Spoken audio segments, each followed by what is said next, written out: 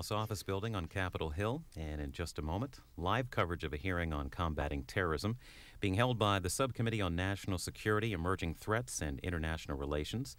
It's chaired by Congressman Christopher Shays of Connecticut. Ranking member is Dennis Kucinich of Ohio. We will bring you this live at 1 o'clock. It's scheduled to begin. Actually, it's uh, just a couple of minutes late right now, but we will bring it to you live when it gets underway here on C SPAN.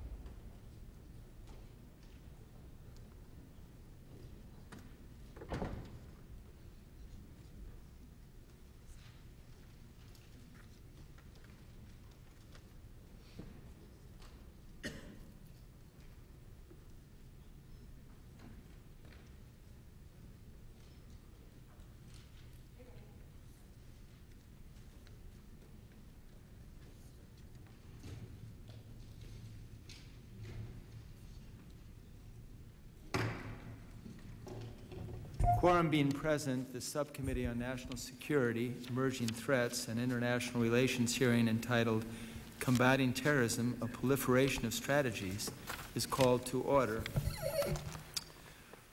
Almost two years before the attacks of September 11, 2001, the advisory panel to assess domestic response capabilities for terrorism involving weapons of mass destruction far more widely and succinctly known as the Gilmore Commission, concluded the United States lacked a coherent, functional national strategy to guide disparate counterterrorism efforts.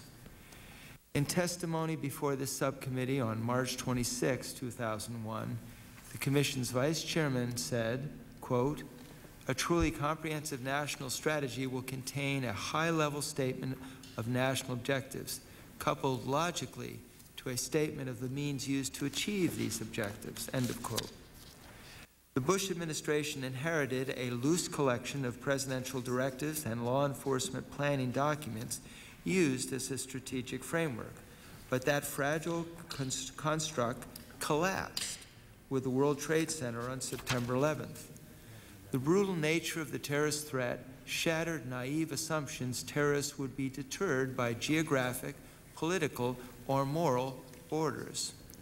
A new strategic paradigm was needed.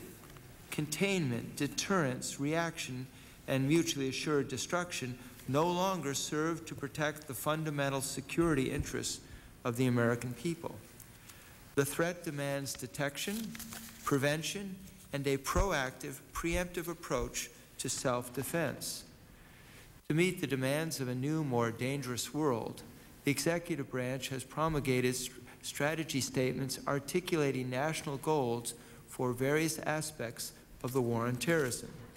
Subordinate to the overarching national security and military strategies, other plans guide efforts to secure the homeland, combat terrorism abroad, integrate military response capabilities, combat weapons of mass destruction, staunch terrorist funding, secure cyberspace, and protect critical national infrastructure. A strategy famine has given way to a veritable feast of high-level statements of national objectives and tactics to defeat the multifaceted foe that is global terrorism. Today we ask how these strategies link to form the comprehensive national policy recommended by the Gilmore Commission. Are they dynamic enough to meet changing, adaptable threats? Do they guide the application of finite resources to achieve critical objectives? And how will we know if they are working? Just as reorganizing the federal government to counter terrorism will take time, reorienting the U.S. long-term strategic mindset will require sustained effort and hard choices. Some fundamental elements of a fully integrated preparedness and response strategy are not yet evident. State officials and local first responders are still waiting to know how much will be expected of them in the event of a major incident. What capabilities in terms of training and equipment should be resonant at the local level? What and how should federal capabilities be brought to bear? To help us begin our consideration of these important questions today, we welcome two panels of distinguished witnesses, including former Governor James Gilmore, chairman of the advisory commission that has been and remains on the forefront of the national debate on combating terrorism. In, the fut in future hearings, we will hear from administrative administration representatives and others to address specific elements of the strategic bulwark against terrorism. We welcome all our witnesses and look forward to their testimony today. And at this point, the Chair would recognize our distinguished gentleman, the Ranking Member, Mr. Kucinich. Thank you very much, Mr. Chairman. I'd like to extend a warm welcome to you and uh, everyone connect, connected with the work of our committee. Thank you. And to let you know that I look forward to working with you in this session. Likewise. Uh, as you know, Mr. Chairman, we worked together in the last Congress to conduct oversight over the administration's efforts to secure our country against terrorist attacks. After the awful events of September 11th, it became more evident than ever that we needed a rational approach to protecting the American people. Officials from the U.S. General Accounting Office, who are appearing before us again today, testified that the number one step in crafting a national strategy was a comprehensive threat and risk assessment. Before we reorganized ourselves or allocated additional funding, we needed to understand and to prioritize the true threats to our nation. Mr. Chairman, on October 15, 2001, you and I joined together and we were accompanied by our counterparts on the full committee, Chairman Waxman, or excuse me, Chairman Burton and Ranking Member Waxman, and the four of us signed a letter to President Bush. We urged the President to conduct exactly this type of assessment. In the spirit of bipartisanship, we move forward and ask the President to use the opportunity of Governor Ridge's appointment to carefully examine all the threats we face Unfortunately, President Bush was not responsive in regard to our request. He did not respond to the committee. He, the administration moved ahead with the new Department of Homeland Security and produced a new budget, all without taking the initial step of completing a comprehensive threat, risk, and vulnerability assessment. What is the result of this? Today's hearing is aptly entitled A Proliferation of Strategies. The administration has been proliferating national security strategies, nearly a dozen by my count, without any logical or demonstrable sense of priorities. The lack of logic and the lack of priorities is exemplified by the administration's push for a preemptive attack on Iraq. The administration has not been able to make any kind of a credible connection between Iraq and al-Qaeda with regard to 9-11. Nor has the administration produced credible evidence connecting Iraq and 9-11. Yet the administration is moving ahead with a preemptive war, despite the fact that Iraq possesses no imminent threat to the United States.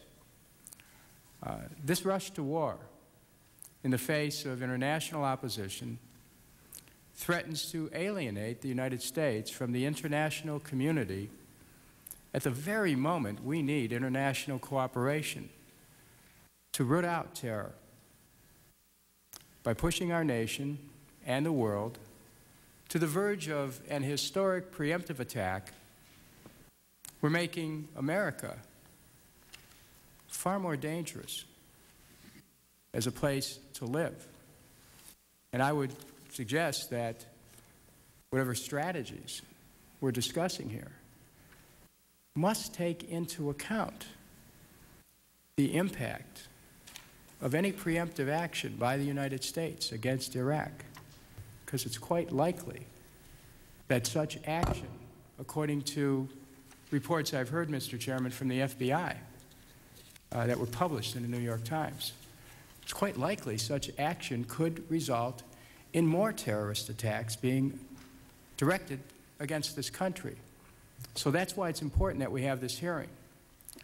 This weekend's capture of Khalid Sheikh Mohammed, the suspected mastermind behind numerous Al Qaeda attacks by Pakistan, uh, the, the capture was effected with the help of Pakistan, once again demonstrates the great importance of international coalitions and cooperation in our ongoing efforts to root out the terrorists. The administration's rush to an historic preemptive war against Iraq, I believe, threatens to isolate our country and alienate allies that we need in our efforts to disrupt, capture, and dismantle the Al Qaeda network. I thank the chair. I thank the gentleman. At this time, the chair would recognize Mr. Janklow, uh, former governor of South Dakota, uh, and then we will recognize Mr. Murphy, uh, member from Pennsylvania. They're both new members, and we're delighted. This is our first hearing. Delighted to uh, welcome both of them. Janklow, you have the floor. Thank you, Mr. Chairman, very much. And uh, I'm going to be very brief in my comments. As I had an opportunity to review the various strategies that were put forth by staff, I believe there were eight in number. Uh, it becomes really clear, as it's been suggested, that we've had a proliferation of strategies en enunciated, and at the same time, uh, they're interrelated to certain respects, overlapping in certain respects. But what I think we do lack is one clear overall strategy. Now, that's really not surprising. Notwithstanding political comments any of us want to make, this president was president for nine months uh, when the World Trade Center was attacked and we were subjected to the greatest terrorist attack uh, in the history of this country. As a matter of fact, I believe it was the War of 1812 was the last time that America, in a substantive way, had enemy soldiers uh, within our borders uh, operating. But be, be, that as it may, uh, this administration inherited no strategic plans at all. That occasionally cruise missiles would be launched against some site in Afghanistan, an empty camp, uh, to enunciate some kind of announcement. Um, but other than that, there really wasn't any uh, clear, cohesive strategy. But the important thing is now we have thousands of dead people. We have enormous damage to uh, individuals' lives, survivors' lives. We have trauma like the likes of which this country has never known before. We have untold damage to our, our economy, totaling in the hundreds of billions of dollars. And terrorists have figured out they have the ability to bring America virtually to a standstill. Five or six anthrax letters uh, stop the U.S. Postal Service, and for all practical purposes, stop most of the governments in America from being able to function uh, for a period of time. Uh, the airlines were shut down. America's economy, for all practical purposes, were shut down. And so, Mr. Chairman, I look forward to your leadership and working with you and the other members of the Congress, uh, the administration, and the American people uh, to do what we can to come up with an overall program uh, laying out the roadmap in very clear, very enunciated ways, uh, specifically setting forth uh, what it is that, uh, that we're trying to accomplish and the objectives by which we mean to accomplish it. I realize when I say that it's not unlike a, uh, a playbook for a football game, that uh, you go into the football game with a playbook and uh, by the time the second play is called and the other team intercepts your ball, your playbook is back to the drawing board for, for modification. Uh, But we in this country have about 18,000 law enforcement units that have never before had to work together in an absolutely coordinated way. In my state of South Dakota, which is one of the least sparsely populated states in the Union and one of the largest, as I tell people, my congressional district is just uh, slightly smaller than Great Britain in, in terms of size. We have 534 fire departments within the state of South Dakota, over 250 of which are in communities of less than 1,000 people. So we can begin to understand the magnitude on a national scale of what it is that we have to deal with and how we have to address it. And so, Mr. Chairman, I, uh, I'm pleased that you've been selected to be our, our chairman uh, with respect to this subcommittee. I look forward to working with you and the others as we move forward to try and get uh, accomplishments done at, at the speed of lightning. Uh, I should say at the speed of light to, uh, to better protect and secure the American people in this country. Thank you very much. At this time, we'll call on uh, Mr. Murphy from Pennsylvania. Uh, Thank you, Mr. Chairman. Uh, I, uh, first of all, commend you for calling uh, this hearing. It is very important. If there's anything that the Government Reform Committee should be doing during this time, it's to looking at ways of reforming our strategies on national security to make them more efficient, uh, both in local emergency services, as uh, Congressman Janklow just alluded, but also in the state and the national level. We have to be united in our, in our message, united in our strategy, and then united in our means of implementing that strategy uh, during a time when uh, people will, and certainly the terrorists will look for ways to divide us. They're, they are, of course, counting on our short memory of events, although they should have been burned on our memories forever. Um, they're counting on uh, Americans to be fickle about their memories and counting on us to be divisive in our politics as they watch the news and they mistake freedom of speech for disunity. Uh, there may be times when even this committee and every other committee may have people who do not agree, but uh, I want them to also know a message that as we iron out ways of making these strategies more efficient, as we'll hear from testimony today, these are geared towards working in a united way to take care of these problems quickly and efficiently. So I look forward to the hearings, Mr. Chairman. Thank you. Thank the gentleman. Uh, We'll call our first panel, and our panel is uh, Mr. Raymond Decker, Director, Defense Capabilities and Management Team, U.S. General Accounting Office, accompanied by Stephen Caldwell, Assistant Director, Defense Capabilities and Management. And um, uh, as is our practice, we will ask you gentlemen to stand and we'll swear you in. Just raise your right hand. Thank you. Do you solemnly swear or affirm that the testimony you will give before the subcommittee will be the truth, the whole truth, and nothing but the truth? Thank you, gentlemen. Note for the record that our witnesses have responded in the affirmative. I think we only have one statement. That's from you, Mr. Decker, correct? That's And- correct, sir. And uh, just let the record note that, Mr. Decker, we have worked with you uh, for many, many years, and we appreciate very uh, sincerely the, the work of the GAO and uh, uh, specif specifically your work. Uh, Thank you very much, and Mr. Caldwell, it's nice to have you here as well. So what we're going to do is I'm going to put the clock on for five and rotate it another five, so you have 10. Um, And then we'll go from there. Mr. Chairman, members of the subcommittee, I appreciate the opportunity to be here today to participate on this important hearing on national securities relating to, nas- to combating terrorism. More than two years ago, in July of 2000, GAO testified before this subcommittee on combating terrorism, the need for a strategy. We had just completed our initial review of the Attorney General's five-year interagency counterterrorism and technology crime plan, the closest document to a national strategy that time, and commented on its weaknesses. We stated that at the time, there should be only one national strategy to combat terrorism. We indicated that additional planning guidance providing more detailed information for specific functions should be integrated under this one overarching national strategy in a clear hierarchy. At that time, Mr. Chairman, you were sponsoring a bill to establish an office that would, among other duties, coordinate a single integrated strategy. A lot has happened since then. My testimony today is based upon GAO's comprehensive body of work in the area of combating terrorism over the past six years at the request of this subcommittee and others.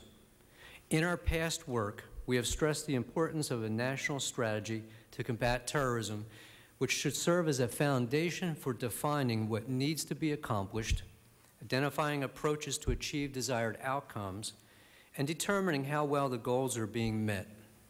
It should not only define the roles and missions of the federal government and agencies, but also those of state and local governments, the private sector, and international community.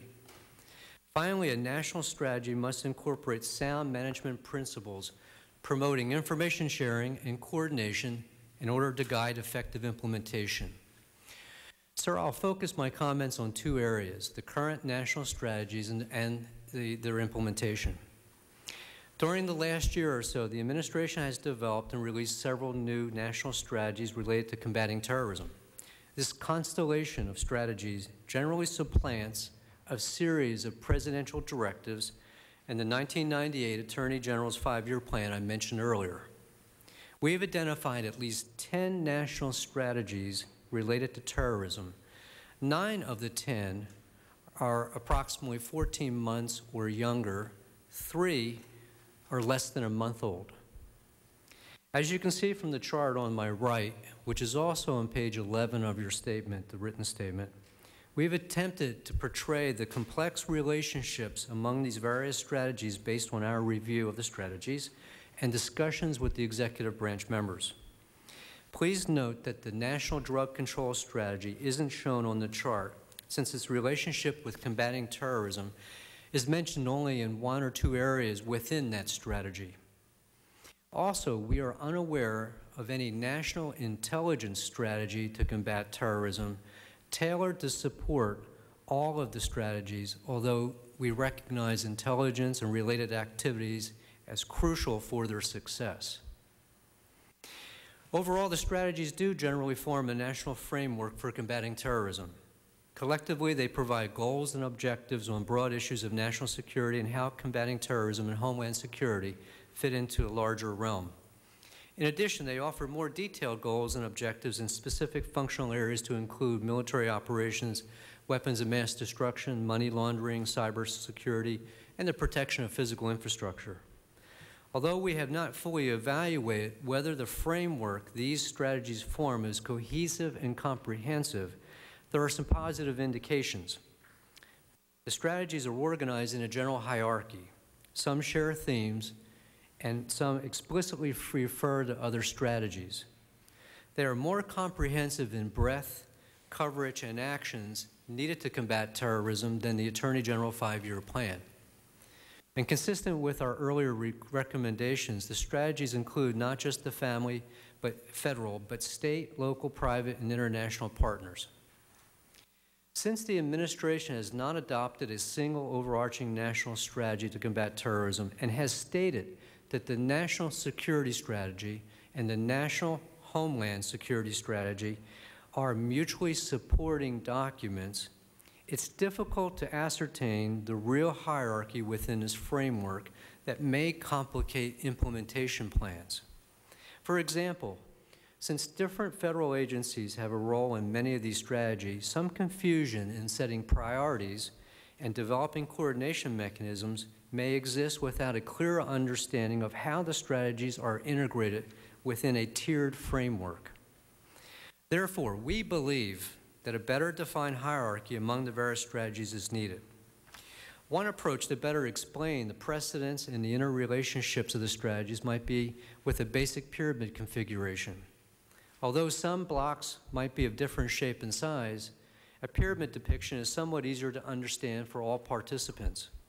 For example, might the national security strategy of the United States occupy the topmost position on the pyramid and perhaps the National Homeland Security Strategy and, and National Strategy to Combat Terrorism sharing a tier below.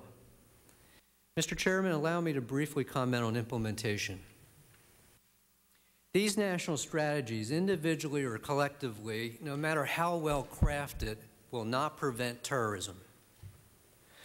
However, these documents when implemented through intergovernmental, interagency, and international programs that are seamlessly integrated, effectively coordinated, appropriately resourced, and smartly led, will make the difference in the war on terrorism. While these strategies must direct and guide programs, it should be noted that these strategies reflect a host of pre-existing initiatives that must be reviewed to ensure proper focus and alignment with newly established goals, object objectives, and actions. A critical element for successful implementation is the need for clearly defined roles and responsibilities for all players. If the federal, state, local, private, and international participants have a thorough understanding of the roles, responsibilities, and capabilities of all involved, then coordination through established mechanisms is greatly facilitated. Finally, leaders at all levels must ensure that the implementation process is effectively and efficiently carried out to achieve goals and objectives within the timeline set. Using essentially tools like, central tools like risk management to guide decision-making and performance indicators to gauge progress, leaders will be able to better focus attention and adjust resources to move closer, move the goals closer to end states. Due to the serious consequences of failure, GAO has designated the implementation of Homeland Security as a high-risk federal area. And this is a product that clearly delineates that challenge. Sir, the leadership challenge is daunting but not impossible. In closing, we believe the framework formed by these strategies, if effectively implemented with the full involvement and commitment of all partners, will result in significant progress towards our stated goals in the war of terrorism. Congress will play an increasingly important role in addressing the challenges faced in this process. In addition to recently passed legislation reorganizing the federal government to combat terrorism and the appropriation of significant funds to support the war on terrorism, Congress will need to provide keen oversight through hearings like today to ensure all programs are well designed, developed, and executed to accomplish the national goals. Our success on terrorism depends on the leadership and actions of the federal government and its domestic and international partners. Sir, this concludes my prepared statement, and we'll be pleased to respond to any questions. Thank you very much, Mr. Decker. Uh, just for the benefit of, of new members here, and first let me um, welcome uh, Congressman Chris Bell from Texas, uh, a new member to the committee. We're delighted you're a member of this committee. I, I think you'll find the work of this committee um, quite meaningful and helpful to your district and our country. Uh, at this time, Mr. Bell, I would be uh, happy to recognize if you'd like to just make an, an opening statement.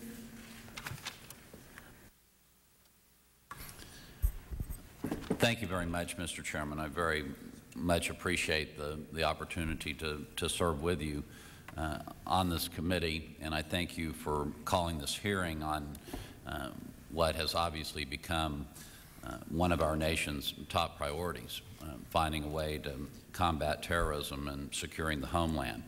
And I would like to uh, thank Mr. Decker and the others uh, who will be testifying here today and have offered themselves to answer our questions.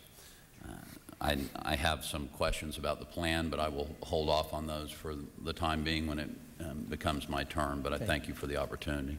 Thank and thanks you. for your welcoming remarks as well. Thank you. Uh, what we usually do in this committee is we uh, usually do 10 minutes if we have like two or three members.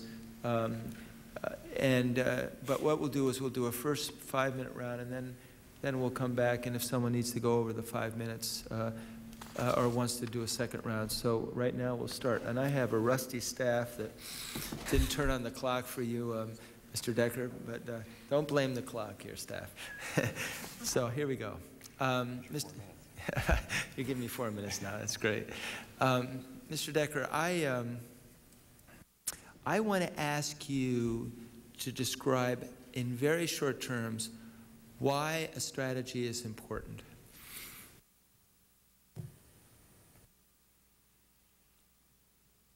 Sir, very simply, the strategy is a foundation piece in which you can go and implement particular plans and actions and make sure that they achieve some type of uh, end state. Uh, I view strategies, and I think most uh, professionals would look at them as um, roadmaps or concept papers that give you an idea of what has to be accomplished, uh, what is in the nation's best interest, and in a general way, how to go about doing that. So if you have a good strategy, you're off to a good start. Because from that, you can derive many other vehicles and tools that'll help you do what you need to do. Thank you. We, um, you have come before this committee before September 11th, uh, as have all three commissions dealing with terrorism. And all three, the Gilmore, the Bremer, the Hart-Rudman Commission, uh, made these three points. They said there's a new threat out there. They said you need to develop a new strategy. And then they said um, that you need to reorganize your government accordingly. And I think the only area where they really disagreed was on the reorganization of government. Uh, when we uh, encountered an ally, the, the Soviet Union, a, a, a, former ally, the Soviet Union, becoming our enemy, uh, they wanted to destroy us politically, socially, economically, as well as militarily. We uh, brought people in, and um, we, the, the President uh, Truman and then President Eisenhower, and but with President Eisenhower, he, he brought them into the White House, and it was basically called the Solarium Project. Uh, and they uh, developed the fact that we needed a new strategy, which was basically uh, one of um, containment uh, and reactive and mutually assured destruction. Uh, you accept the fact that that strategy uh, is no longer viable in, in today's, with today's threat? Sir, it's difficult to answer. I, I don't think we've done the... Uh, I'm not asking you what, what, what it should be. It's not difficult to answer. Is that old strategy going to be effective in this uh, war against terrorism? This isn't a trick question. no, sir, I understand. Uh, Let me put it this way. Do you agree with all three commissions that said we needed a new strategy? Yes, sir. A piece okay. of the, the national strategy. So, correct. so the answer is that the old strategy doesn't work, correct? It may not be as applicable today. Okay. Um, would you uh, walk me through? You have eight strategies, it seems to me, not, excuse me, you have nine strategies, not eight, unless I'm misreading it. And uh, I would like to know uh, you have the national security strategy of the United States. Is that, uh, would you be able to articulate that in a fairly coherent way? What that is? Yes, sir. Um, the national security strategy of the United States would be the topmost policy-driven piece that explains uh, what's most important about this nation's security from the international, uh, from a threat standpoint, from an economic, from a uh, issue of democracy, it, it covers all those aspects of uh, what has to be uh, addressed to ensure our security for our way of life. Now, you blocked it out uh, in the same size as the National Strategy for Homeland Security. Is it equal to or supersede the National Strategy for Homeland Security? Sir, that, uh, that issue came, it's confusing to us because of our reading of the document, the, the Homeland Security Strategy, which states that the National Security Strategy and the National Homeland Security Strategy are mutually supporting documents and represent the topmost tier of, uh, of the strategies. And I guess our sense would be that there is only one national security strategy for the United States, and that encompasses many issues to include the threat that we have from terrorism. And that the Homeland Security Strategy and this national, national strategy for combating terrorism would be the two component pieces that deal with the problem set of terrorism. And so our, our, our concern is, is that it is confusing. If it's confusing to us, and, and we happen to have done quite a bit of work on this, it might be confusing to other agencies, international partners, and so on as they start to look at specific goals and objectives. Thank you. Um, Mr. Kucinich, what we're going to do is we're going to just do the five-minute rule, the first pass and 10 the second, and you have the floor.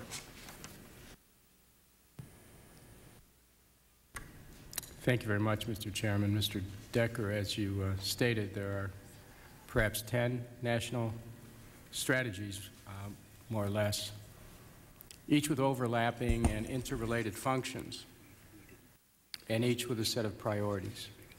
I'm concerned about the administration's conception of prioritization, however. The strategies describe many broad goals as priorities, but the strategies really don't involve any comparison. This is a priority, that's a priority, everything's a priority. But the process of prioritization means picking what, which comes first. It means choosing where the money will go. Is that, is that not correct? Sir, a strategy should help guide where you put resources against specific issues. Okay, well, let me expand on this, if I may, um, and, and how they relate. Can you tell me from the text of these national strategies, which is more important? For example, securing our ports or building missile defenses?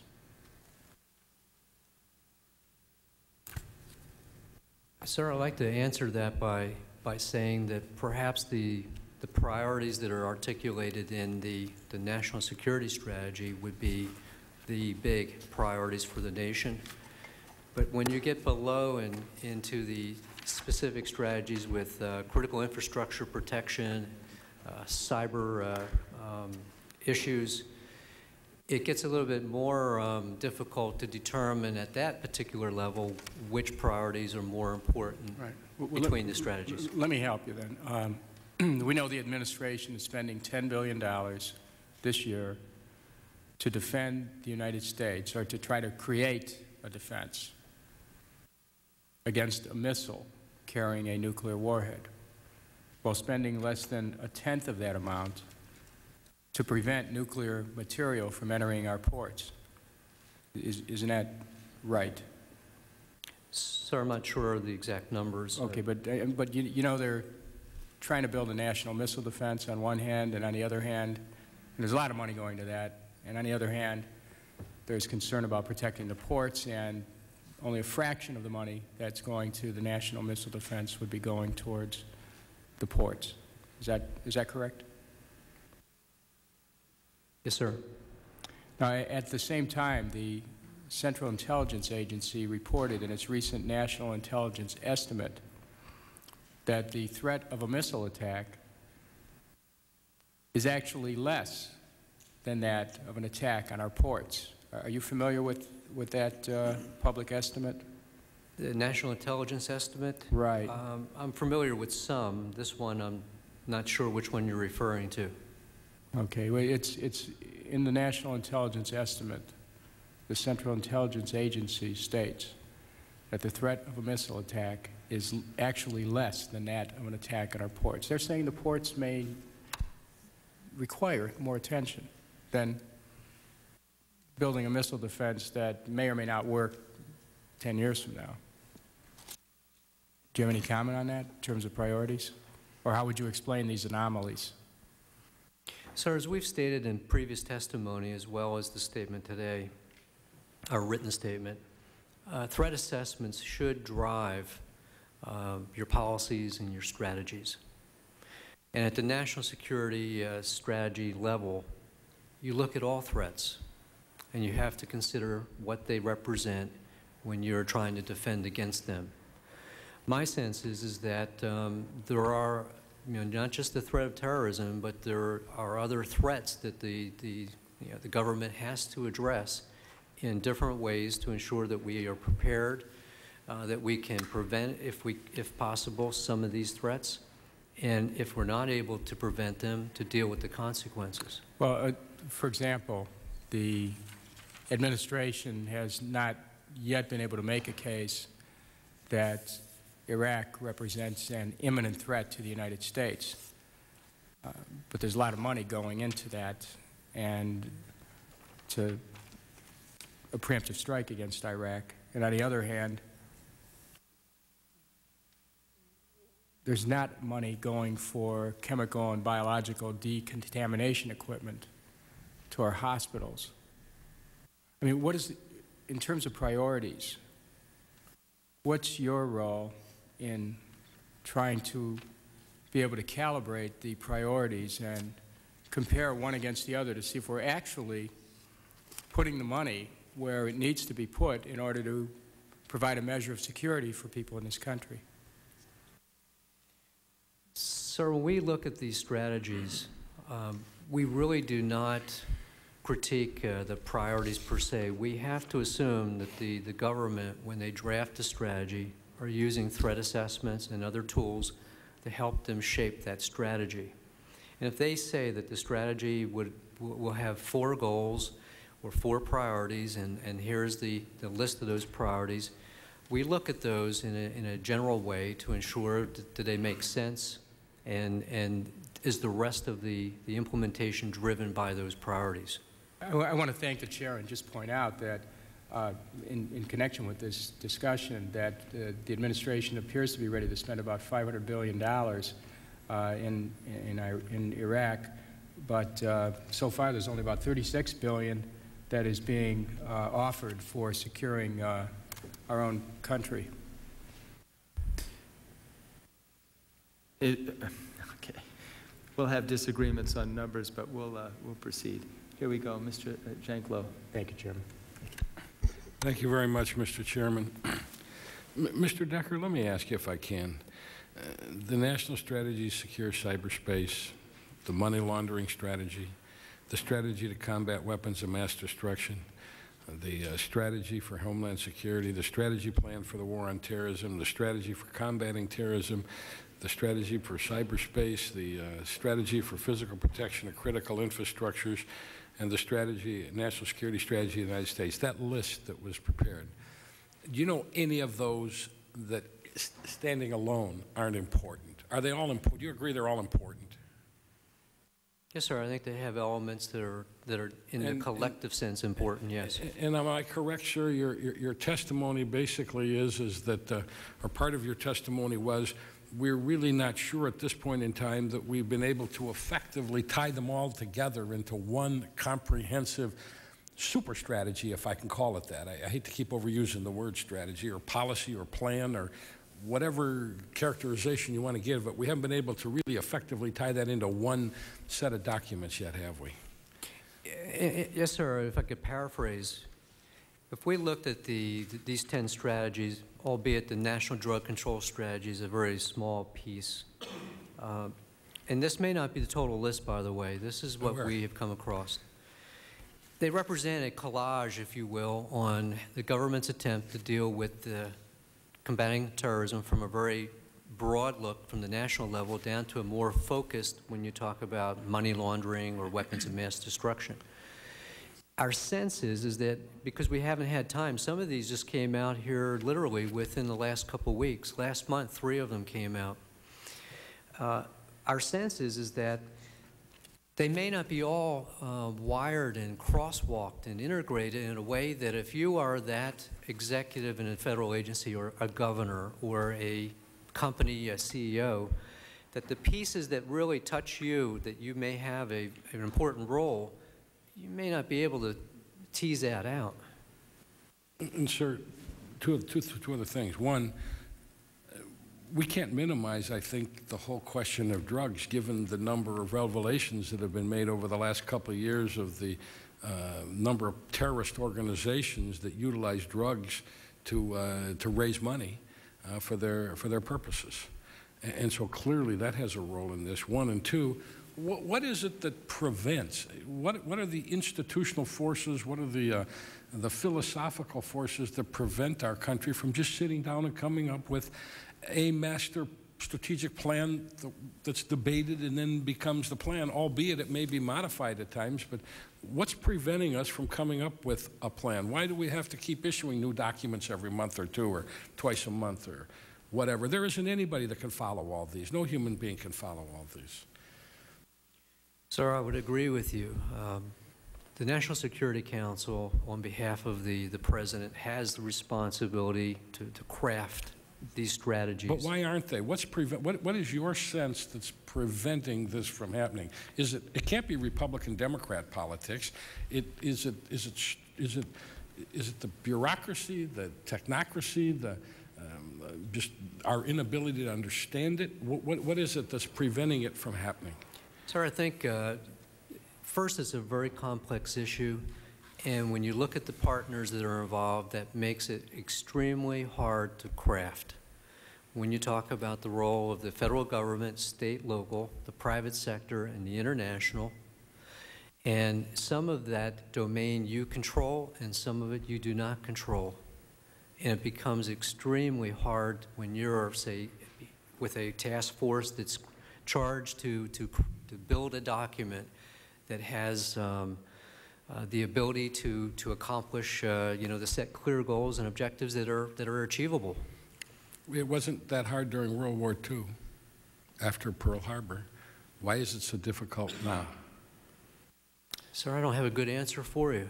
Um, I think that part of it may be if you look at the, the stand-up of the new Department of Homeland Security, the challenges that uh, Governor Ridge is going to have blending 22 agencies, 170,000 people. Um, I heard uh, a comment that one of the major um, you know, issues uh, with some of the agencies was trying to determine perhaps what color uniform uh, would be used by all. God bless America. I thank the gentleman. Uh, At this time, the chair would recognize uh, Congressman Bell from Texas. Thank you very much, Mr. Chairman. I, I understand that the documents that you provided us today are intended, or I assume they're intended to offer a, a roadmap, if you will, um, for where we're trying to go in this area of um, the war against terrorism and overall national security. And in looking at the roadmap, uh, a couple of questions come to mind. Some of them were already touched on uh, by my colleague, Mr. Kucinich, uh, in terms of uh, port security. Uh, and I think, and I want to be clear, uh, that you agree with the premise that, well, there, the suggestion has been made that a terrorist organization would be much more likely to smuggle a nuclear device into the United States uh, via one of our ports uh, rather than launching some kind of missile attack. Would you agree uh, with that premise? Sir, I think the, the, the threat, the, the intelligence community, law enforcement community would probably agree with that, and I think that is more realistic. And if you take that into consideration, and he didn't touch on specifics, but uh, my understanding is that the budget proposal seeks over $9 billion for missile defenses while seeking less than $1 billion uh, for port security. And coming from Houston, Texas, where we have the, the second largest port in the nation, uh, that's of obvious concern. And I'm curious about the, the reason for that disconnect. Sir, I think the, the, the government uh, tries to to ensure that the, the priorities are set right and that the resources to work on those priorities is also um, linked. Um, and this has to be driven by threat assessment. My, my, I don't have a reason, an answer to give you why there's a difference between, you know, missile defense and port security. Why would there be a difference, uh, you know, between first responder training issues and, you know, vaccine? It's, it's, it's hard to it's kind of like apples and oranges, if you will. Uh, and we're not privileged to, uh, to understand some of the reasoning behind. Let me interrupt because it's not completely apples and oranges because you all are setting the priorities. And if you've already said that port security is a priority, and I realize there's not going to be a direct matchup in, in terms of dollars, but that's a pretty significant disparity uh, when you're looking at uh, $9 billion compared to less than $1 billion and, and really looking at the, the same kind of threat. I'm sure it's probably more expensive uh, to develop missile defense systems, um, but that seems like a rather paltry sum uh, to be spending on, on port security. And when you viewed uh, a port like the Port of Houston and actually traveled the waterway and, and viewed it by air and, and see just what a daunting task it is to, to try to protect uh, that amount of shoreline, uh, it's obvious that there's a tremendous amount of expense involved. And if the uh, administration is not willing to make a more serious commitment to it, uh, then it's just going to go unprotected. Do you see any um, possibility for change uh, or for this to be a, addressed further in the future? Sir, I think you, you've highlighted one of the key issues that we've stated uh, before, and that is there are going to be an awful lot of vulnerabilities. Governor Ridge and his new responsibilities is going to have to do a balancing act with the resources and be it people or funding to, to address the various concerns that, that he will be handling as the, the head of Department of Homeland Security. Uh, above him, obviously, the president is concerned about many threats, uh, many issues, and, and again, there's not enough funding, resources, energy to cover all the vulnerabilities to this great nation. So it comes down to making uh, leadership decisions. Uh, those have to be driven by information, some of it perhaps that uh, we're not privileged to know and see. Can you touch on the coordination issue for just a moment uh, as to who is going to be overseeing all of this? Because um, that's a rather significant question right now as well. And you're talking about the coordination of the national... Well, of all of these various efforts that we've been Sir. presented with here today. Sir, I suspect, um, you know, some of the newly formed committees on Congress will have direct oversight, particularly when you talk about Homeland Security. Uh, but when you deal with some of the more specific strategies, they touch a lot of different um, activities, particularly here on the Hill. Um, the money laundering, uh, I, I think that the, the banking committees, you know, will be involved with uh, aspects of that. When you talk about the, uh, the National Military Strategic Plan for the War on Terrorism, the House and Senate Armed Services. Now, within the, the administration, uh, this is, again, um, the oversight on whether these organizations are performing, um, it's probably going to be driven to a certain degree by the, the heads of the different agencies tasked to perform the tasks, the, the duties under these different strategies. And the president and his team will have to determine are all the agencies and, and, and departments that are being tasked, are they coming together in a way that makes sense? And they will report this out, by the way, sir, through their annual report to Congress on their, you know, the results. Thank you, Mr. Chairman. Thank you. Uh, It's not uh, my intent that all members may, oh, I'm sorry. Mr. Murphy, thank you very much, sir. I appreciate your uh, service on this committee, and sorry that I got so eager, I wanted to leave you out. Mr. Murphy, I I appreciate you, fin- you noticed me. That's you have good. the floor. I'm going to give you an extra minute because of... I didn't think that was part of your strategy, but appreciate No, no. You have, you have an extra minute because I simply blew it. Thank you. You know, as I, as I look upon this chart and as I read the many parts here, I'm reminded of, in, uh, in the book, uh, and also now the, the, the movie, Gods and Generals, which featured a lot of Stonewall Jackson. And he described his strategy for dealing with the enemy as mystify, mislead, and surprise. I have to think, at looking at this, any domestic and foreign enemies would look at this and say they don't really quite know how to make sense of this system, although I'm sure it makes sense to someone. And I appreciate it's come out of a comprehensive look of setting many, many goals uh, to combat terrorism. But just a couple questions as this goes through, and we can get into more specifics another time and how this is done. But the key feature I see in this is an issue of communication. Can you describe to us how communication is set up between these strategies? For example, same agencies, different agencies, same people, different people. What is the mechanisms for that? And I put that in the context of what we found in post 9/11, and as described uh, by other folks up here, the difficulty in communicating between how many police forces did you say in this nation? 18 18,000 police forces. Uh, It's pretty massive. Uh, and, and how these strategies work at that communication to improve upon that. Sir, let me make a comment or two, and I'd like to ask my colleague, uh, Steve, to, uh, to address that. Uh, First off, um, most of these strategies uh, are under the aegis of the, the National Security Council, and many of the, uh, the uh, task forces, the working groups that were put together, and, and most of this is post 9/11. Um, although several of these strategies um, are pre-existing before 9/11 and have been readjusted to, to consider the, the impact of terrorism. Different working groups representing different agencies, departments, and uh, sometimes it's the same person that may flow between some working groups. Normally, it's not, but there are some key members, participants that are the same. And uh, they're given a charge, if you will, to, uh, to, to work and build a particular document. Uh, Sometimes an agency um, will be given the lead for the, uh, for the document, uh, pulling in expertise from different uh, agencies and departments as needed. So the partnerships uh, that are developed uh, on these, uh, these working groups vary qu- quite a bit depending upon the issue. Now, I'll ask Steve if he can provide a little bit more elaboration on that, because some of these obviously are, are very tailored and some of them are very broad.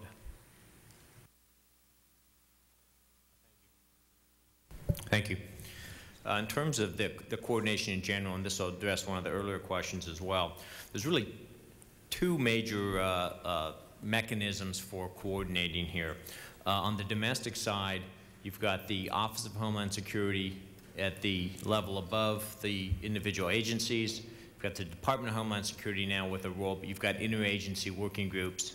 uh, And some of these interagency working groups actually work on things like, say, putting these plans together. And then you've got, um, at the individual agency level, you've got lead agencies, which then have um, other cases where agencies would support them. And in a few cases, uh, for example, money laundering, there may be a little bit of confusion about who's the lead agency when you've got, say, Treasury and Justice as both cited as leads in the uh, uh, national money laundering strategy. And, and that's pretty much the domestic side. On the overseas side, you have the National Security Council. And within that, you have interagency groups as well. For example, they had a specific interagency working group to come up with one of their strategies here, the interagency, uh, uh, uh, I'll call it the National Strategy for Combating Terrorism. Uh, and then again, you got the lead agency concept. I guess then you have the other partners, I'll call them. Those are just within the federal family. And the big challenge, as several of you have alluded to on the domestic side, is dealing with the state and local governments and the hundreds of fire departments just within a single state, as well as uh, uh, the 50 states and all their uh, uh, subdivisions in, in state and local level. And then, of course, on the international side, you have the international community where you're dealing with other countries, you're dealing with international organizations and things like that.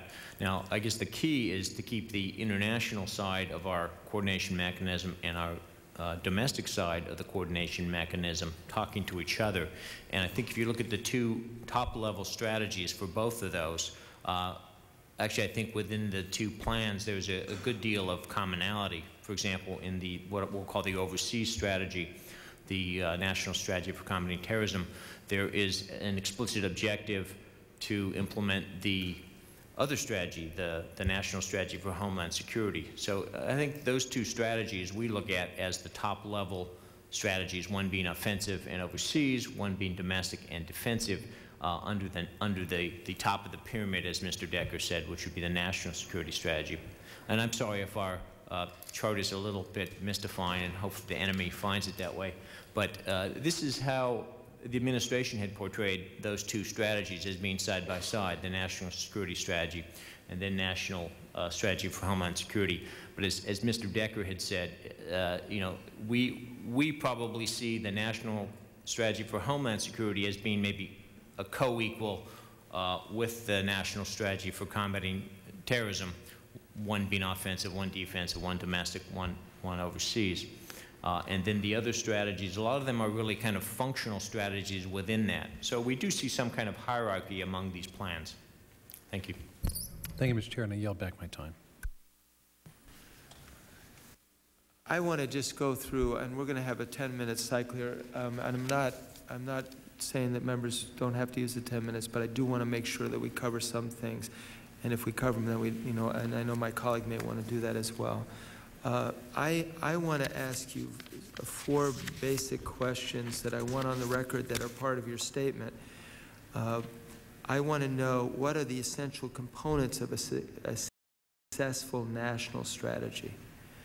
That's uh, one of the questions I want. And I want to know, are these found within the eight Bush administration strategies to combat terrorism?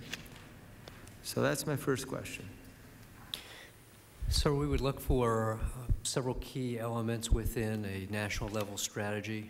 Uh, Obviously, uh, one of the most important things would be a vision, a mission statement, uh, clear goals and objectives,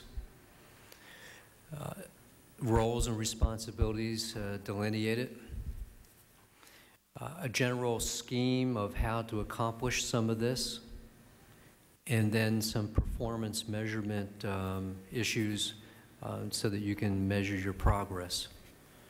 Uh, There also should be, and when you talk about the mission and up in the vision statement, a sense of end state. What, um, I'm not clear whether you have attempted to grade all of these eight strategies. I mean, this is a national uh, security strategy, national strategy for combating terrorism, the homeland security, combating weapons of mass destruction, national strategy, national money laundering strategy, securing cyberspace, the physical protection of critical infrastructure. All of these, have you attempted to evaluate and give a, a grade of whether it meets the, the test of a good, um, a good strategy? Sir, let me answer the question without grades. Okay. Uh, I would say some of the strategy documents uh, are well-written. They have most of the prerequisite pieces that we would expect, and this is for implementation purposes. Uh, The National uh, Strategy for Combating Terrorism is very well-written. It has an excellent threat assessment uh, linkage with why you're doing what you're trying to do. I'm not going to ask you with my time to go through each one. I just sir. want to know, I was going to give you the, the, the goal, the field goals, if you would. okay, that's fair. Uh, The one that I think um, I would send back to, uh, to, to redo or review would be the um, strategy for the combating weapons of mass destruction. I believe it's only eight pages in length. It really doesn't, uh, you know, do the issues that need to be done about the, uh, the the principles. It it does talk about some uh, focus areas, and no roles and responsibilities. It's, it- it's quite academic. Um, Have you seen uh, even those that are basically classified, you've gone through these strategies as well, correct? Yes, sir. Okay. Um, What I would like, though, is, uh, is I I do, would like you to, to look at each one based on how you described what a good strategy is, and I would like you to provide a document to this committee that we'll distribute to both sides, obviously, uh, outlining uh, on each of those tests how they measure up, okay? Yes, sir. Um, How will we know if the strategies are effective? So I want to know what performance measures are planned to gauge the effectiveness of the strategies, and to what extent is the absence of a terrorist attack validation that our strategies have been successful?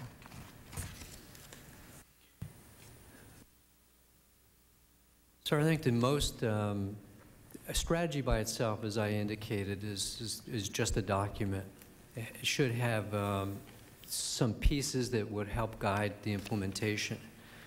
The, the performance measures to gauge the progress of whether you're succeeding against the war on terrorism, by and large, uh, that discussion, except in one or two areas, is, I would suspect, still under development. We approached the performance and progress against the war of terrorism a little bit differently. And we would, we know how hard this is for people to wrestle with. But we, if you consider the war against terrorism or on terrorism, much like the war on poverty, the war on crime, you may never succeed in eliminating it totally. But what you do have in the interim, you have positive um, operational events that uh, lead to larger positive outcomes. For instance, um, when you eliminate the leadership of a group, terrorist group, you freeze their financial assets, you reduce the safe havens that they uh, enjoy. Um, you have, in, in essence, accomplished quite a bit that will lead and should lead to a greater outcome, better outcome, which means perhaps less, fewer attacks of significant um, measure. Thank you. Um, In regards to, uh, uh, I'm basically asking a question that relates to the first question, but there are aspects of, uh, to combating terrorism that are overlooked or any holes in these strategies. I mean, any, I guess I'm looking for the gaping ones, not the final ones. And you started to do it with one response. But where are the, in, when you look at these eight strategies, where do you see the, the holes? It links back into the, the review that we, we will do, looking at the integration to see where are those true fabrics. When we, when I asked the team to take a look at that, um, we did not come up with any particular gap except for the one on intelligence. Okay.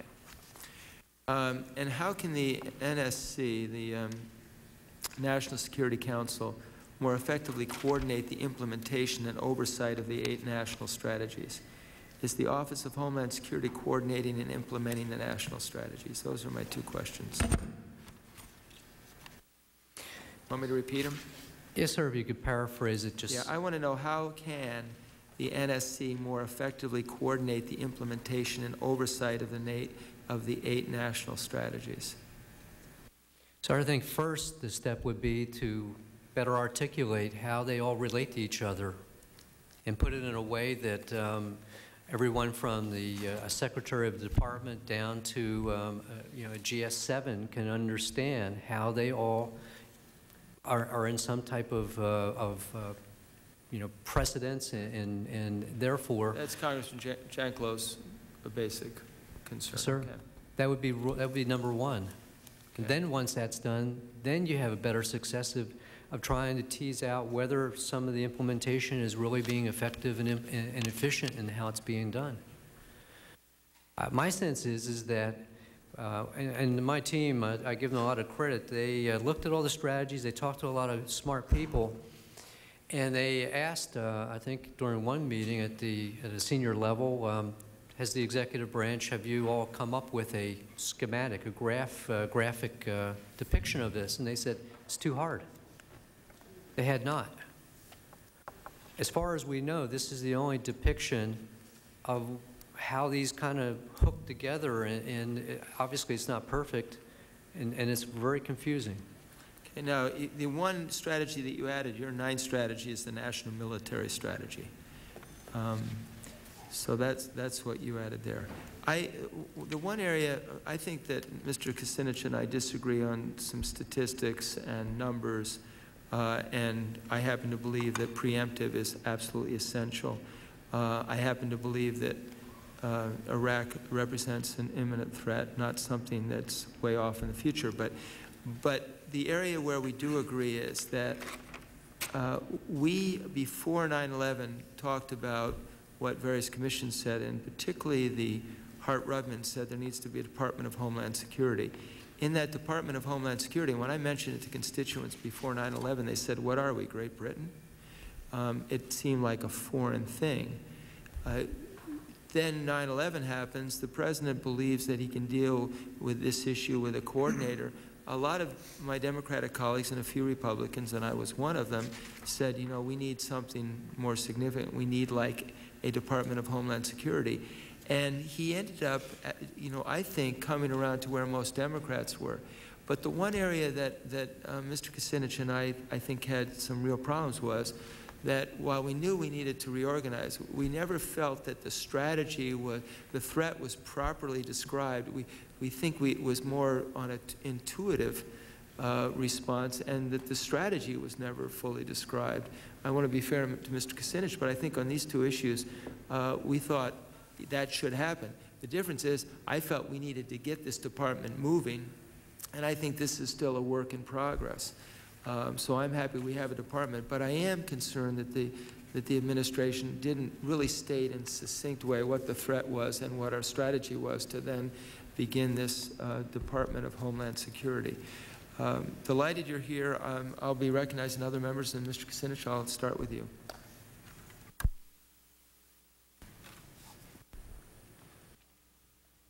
Thank you very much, Mr. Chairman.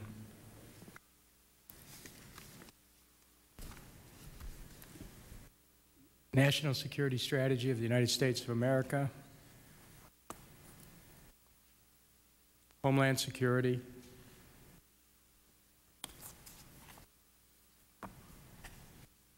physical protection of critical infrastructure and key assets. Sir, do you see the quandary which arises when preemption could actually be counterproductive to assuring the, the security of the United States of America, our home.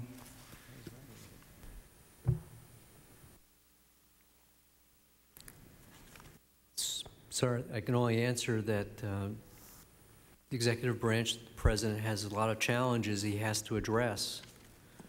And these strategies do address significant issues that um, the administration is trying to deal with.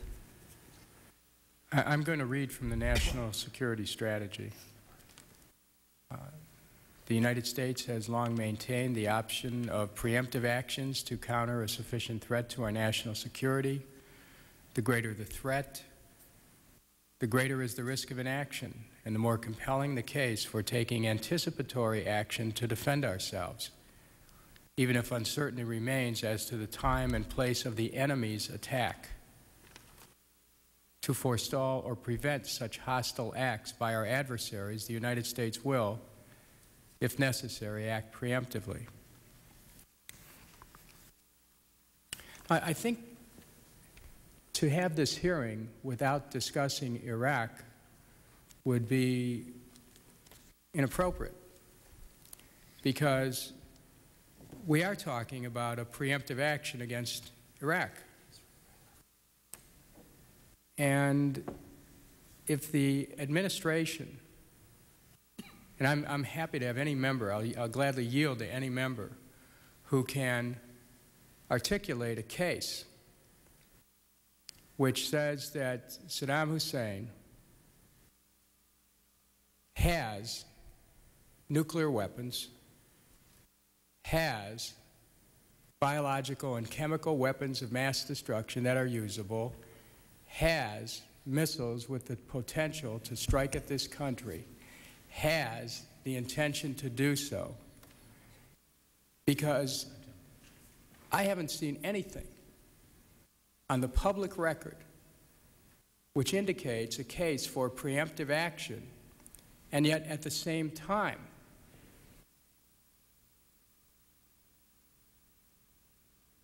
the day before our vote on, on the Iraq resolution, the Central Intelligence Agency, in a letter to Senator Graham, uh, indicated that uh, there did not appear to be a, an intention on the part of Iraq to attack the United States. Um, the New York Times last Sunday had a story that indicated that a preemptive attack on the part of the United States against Iraq could result in terrorism being visited upon, on our shores. Would the gentleman like to yield? I'd be happy to jump Sure. in. Sure. I mean, I think, uh, Mr. Chairman, you know, I, I have a great respect for you, and I think that this would be an excellent opportunity for a colloquy on this because I'm having trouble understanding what the basis for preemptive action is. Well, I think, uh, frankly, it stems from a lot of the work in this committee. Uh, we, we know that Saddam Hussein had a viable chemical and biological program before the war in the Gulf. We didn't know that he had a viable nuclear program, but he did. Uh, we knew that he had a viable chemical and, and biological program after the war in the Gulf. We didn't know at the time he had a nuclear program until we had a defector who wanted to defect, came before this committee and told us that uh, our intelligence community said there is no program and didn't uh, accept his, his name or that he was in charge of it. Uh, we then discovered where the nuclear program was when his two son-in-laws um, came to Jordan. They were debriefed. Uh, I spoke with one of the briefers.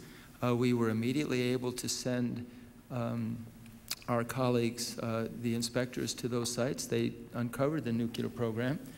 Uh, so he had a clear one then. We destroyed uh, the systems that he had. Uh, and then um, when we started to talk to the men and women who were making those chemical, biological, nuclear programs, uh, Saddam uh, became very belligerent. He started to threaten the inspectors, and we withdrew them. the fact is that he had one before the war, he had one after the war, and he kicked us out uh, when we started to tear out the roots, not just destroy the, the, uh, the weapon systems.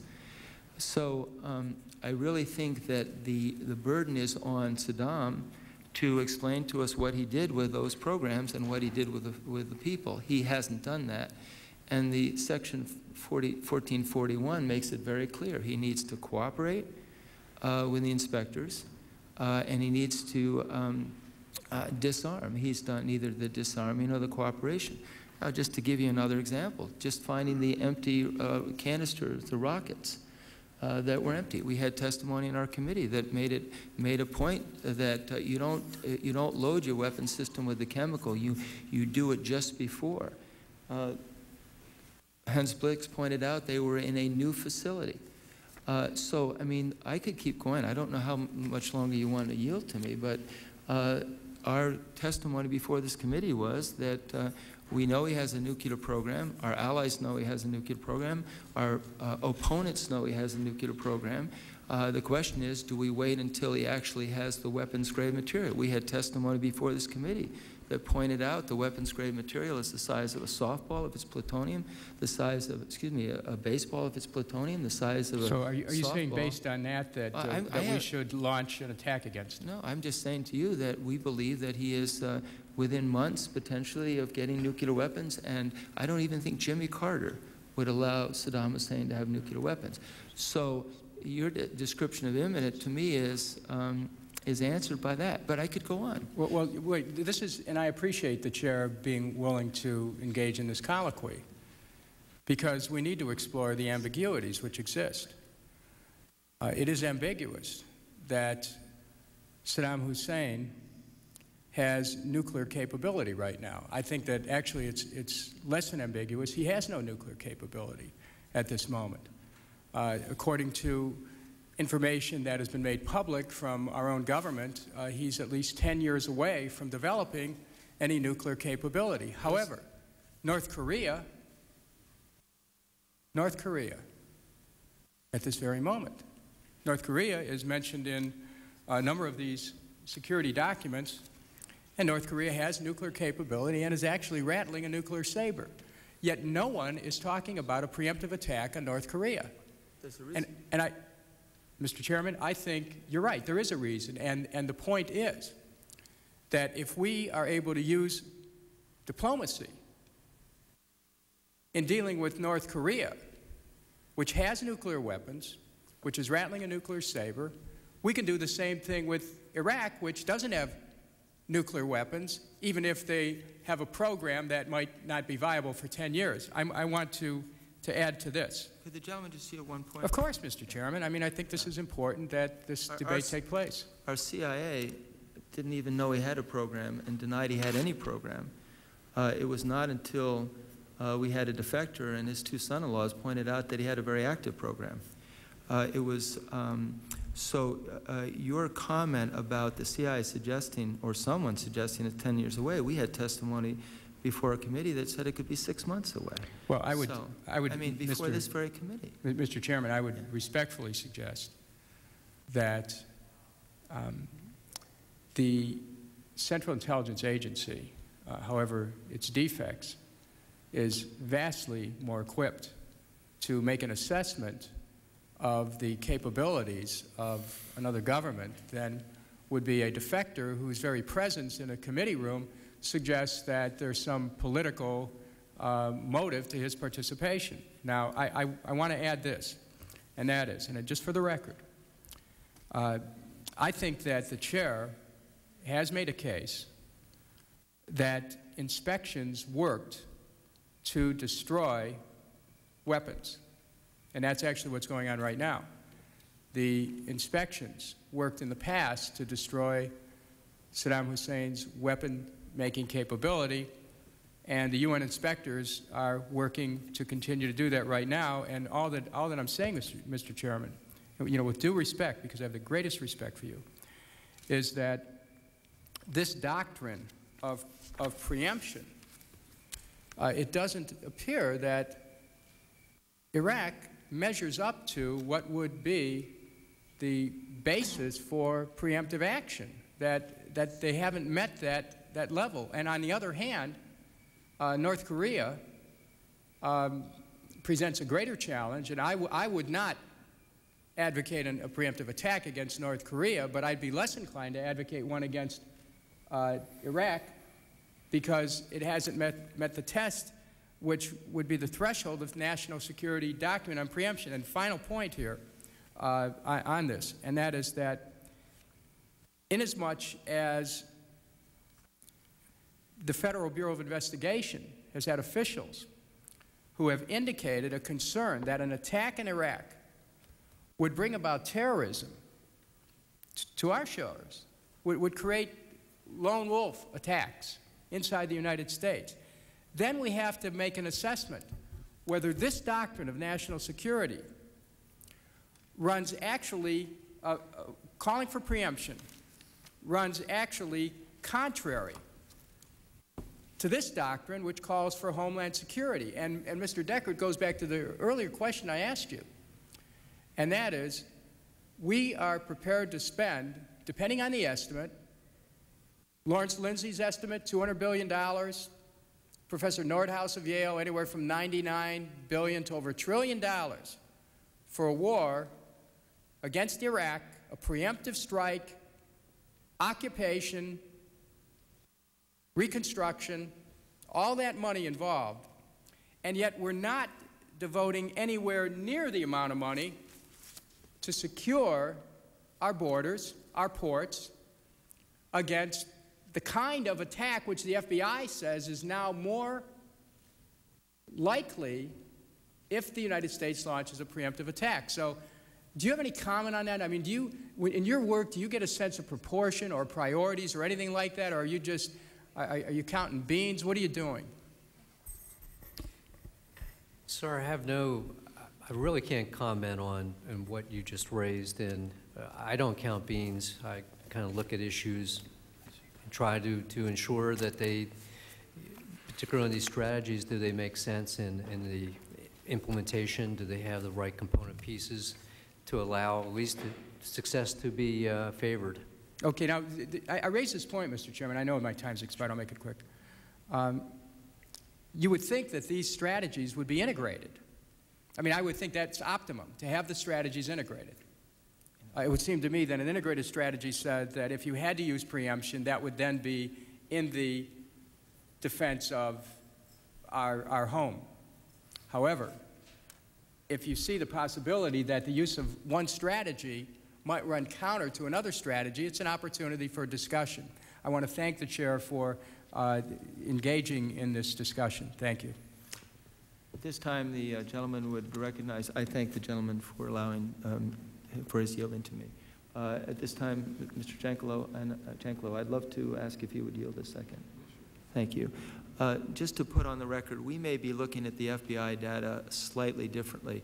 Uh, The FBI data that, that I've seen basically has said we will have um, terrorist attacks whether or not there is uh, interaction with Iraq, uh, and that uh, potentially, uh, if anything, they may just wait, but the attacks will still come. But we're not going to respond to the blackmail of Iraq. And I would just want to make sure I corrected for the record the, the, the number.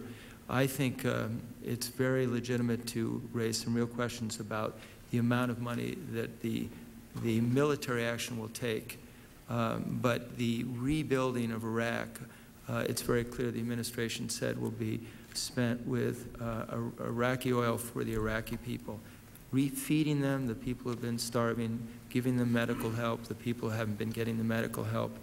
And um, I, I just want to point out that that expense, which will not be small, will be paid for by the 10% of the world's oil owned by the Iraqi people. Just, just to make sure that's part of the record. Uh, thank the gentleman for yielding. Thank you, Mr. Chairman. I, Mr. Chairman, other members of the committee, I, uh, I, I, I hear people all the time using data and throwing figures around. And, A little louder. uh, and the, the comment that there's some professor that thinks the war, a, a prospective war would cost a trillion dollars, uh, that professor must be in the English department writing fiction. Uh, it couldn't possibly be a person that understands uh, anything about the current world events. Uh, You know, and some people make the suggestion that in the event there were to be a war with Iraq, that America is going to be attacked. Uh, by terrorists. I, I don't know what America did to uh, become the recipients of the World Trade Center incidents. I clearly don't know what we did to precipitate the individual that was coming down from Canada that was apprehended at the border with the uh, attempt to blow up things in our country. I don't know what we did to uh, encourage the individual uh, to get on the airplane and fly across the ocean with uh, explosives in his shoes so he would try and blow up the, an airliner. I'm, I, I, don't know what we did to precipitate the Cole incident uh, where they blew up one of our ships in Yemen, um, but maybe someone could explain that to me at some point in time, and I won't be quite so ignorant on the subject as I apparently am uh, right now. But Mr. Decker, if I can go back to questions with you, I'm really concerned about the fact that all these documents are well-meaning. People that sit and write them put a lot of thought and effort into them, but they do it in some, somewhat of an isolation within the sphere where they're working, and they're not looking at the big picture. You know, it's going to be terribly difficult in this country to come up with an overall strategy because of the nature of our federal system, uh, because of the nature of the way that, uh, that this country is, stru is structured in the division of responsibilities and, and how we operate. In any state, the governor thinks that he or she is the chief ultimate law enforcement official. Uh, the mayor of the city knows he or she is. The chief of police really knows it's in their department until you talk to the sheriff who says it's my jurisdiction and the state's attorney says, no, you're all wrong, it's my jurisdiction. Um, the county commission thinks that they have it, and we haven't, and we sit around complaining about the way the federal agencies try and interact with each other. And given the fact that these documents are drafted within a political system, where no matter what you do, someone's going to pick on you for not having done the right thing, for not having given the right emphasis to something, for, for, for not having given the right focus, would it be helpful if there was legislation passed that basically mandated an overall document, if I can call it that, an overall strategy that once it's prepared by the executive branch, then will be picked apart, critiqued, and analyzed by the American people, uh, by all of the various special interests, and by the Congress, uh, so that we can respond to it. Because the way we're doing it now, we're never, uh, do you think we're ever going to bring it together into one structure?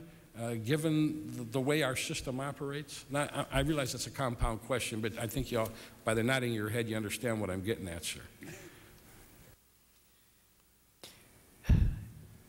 Sir, let me break your question. You had two parts. Yep. One had to do with um, is legislation needed perhaps to pull this together to make sure it's uh, integrated? And, and I guess the second part is, is, is this mission impossible? The first part is we've not done enough of the work that we have to to look at. We know it's confusing, but where are the true gaps in the, the integration of all these strategies? And does it make sense to have one overarching national strategy to combat terrorism with key component pieces? Do you think it does? Well, I think what we did determine, I think th there's a merit to having one strategy. However, if, if you look at that one strategy and break it in two parts, like Mr. Caldwell mentioned, you have a homeland security piece and you have the overseas combating terrorism piece. They represent the domestic and international sections, if you will. Those two component pieces, in my view, could be very nicely crafted into one combating terrorism strategy with obviously the homeland security piece. When you talk about money laundering, weapons of mass destruction, cyber and critical infrastructure protection, and those issues, those are more functional, subject-driven, that would dovetail into not just those two combating terrorism pieces, but perhaps even some larger issues. For instance, the cyber, uh, the protection of critical, critical infrastructure and the cyber piece. You have threats that come from other countries, you know, not just from terrorist groups. So that has to be a broader strategy to deal with things that come out of the national security strategy. I mean, all these do not, when I talk about a pyramid, this is not a pyramid with nicely shaped, equal-sized boxes and blocks that, uh, that would look uh, really pretty. This might be, you know, a hybrid, if you will, of, uh, you know, Egyptian pyramid, a Mayan pyramid, and some others that But sir, if we do that, if I can interrupt you for a second, if, if, if we have all these different structures, how's anybody ever going to comprehend it? Who could pass the test on what it all says and what it all means? Who, who, who- who's got to figure it out? Well, that's why there's a crosswalk that's not happened, at least in our view. In that crosswalk, one of the indications we can tell if there's been, meaning, has this document, this strategy been linked into this other strategy, is some of those key goals, objectives, and references to this is a support piece for this other strategy. And we've only seen that in, in, in one or, you know, a couple of the, of the uh, strategy documents. Uh, There was one revealing uh, um, anecdotal that my team mentioned during an interview with a department. uh, They were talking to a detailee from another major department that plays in combating terrorism. And uh, the, the mention was, did you know about this strategy, which came from the individual, the detailee's um, parent um, department? And he had no idea that, that that strategy was even being drafted. But isn't that always going to be the case the way we're doing it? Yes, sir. So, so we need another method. This one's proven to create a lot of nice documents, but they're not, they may be interrelated, but they're not coordinated. And, and, and if people are never going to figure it out, Well, I'd say they're not integrated, that's for sure. And, and, and if you have problems with integration with the documents, you're going to definitely have problems with coordination and we talk about integrated working groups, integrating working groups. Just the mere fact that we got to bring all these working groups together. You know, somebody once said that for God so loved the world, he didn't send a committee.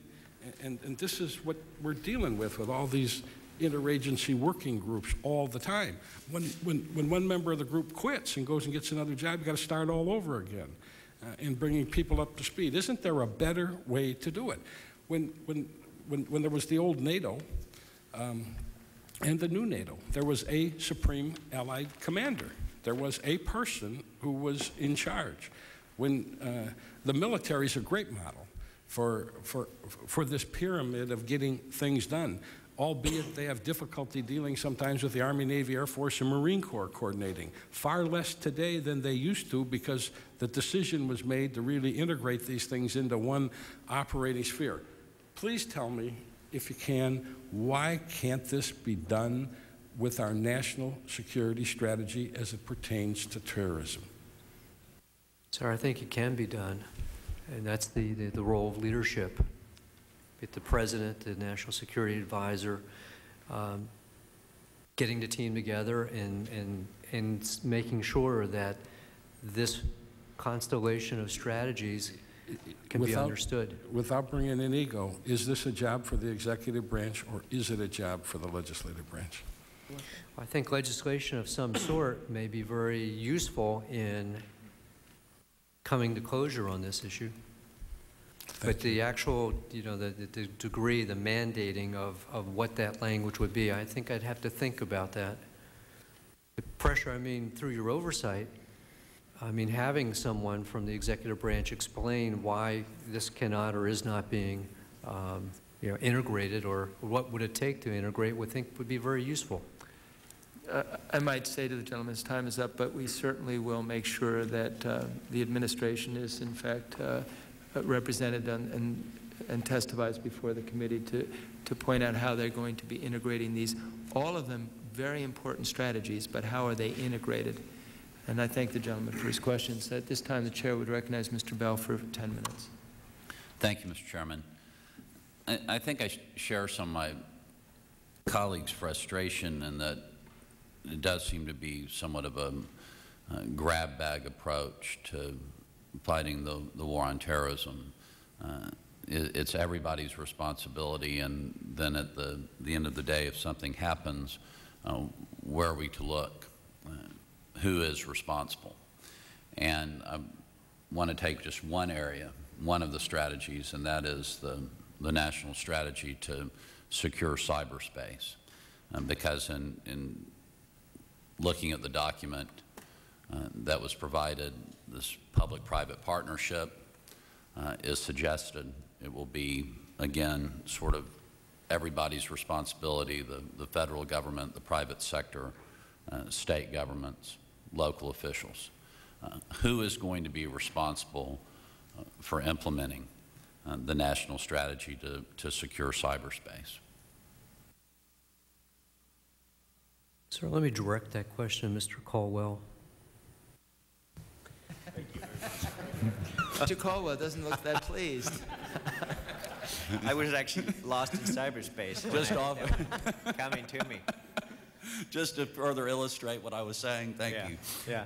Uh, Let me answer your, your question. uh,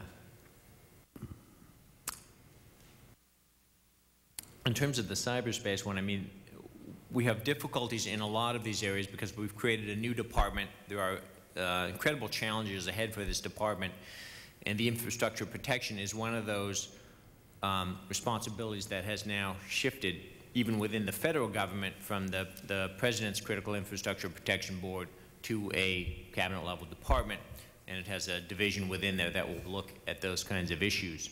And um, the problem that you're talking about in terms of the private partnerships, the partnerships with the private, with uh, state and local governments as well, I mean, these are just things we're going to have to get used to in terms of the federal system we live in and the uh, sovereignty and autonomy of, of our state governments and the autonomy we give to the private sector. And, and rightly so. I don't think we want to necessarily change uh, some of our basic precepts here in terms of, of what should be private and public and government and what shouldn't uh, because of these other things.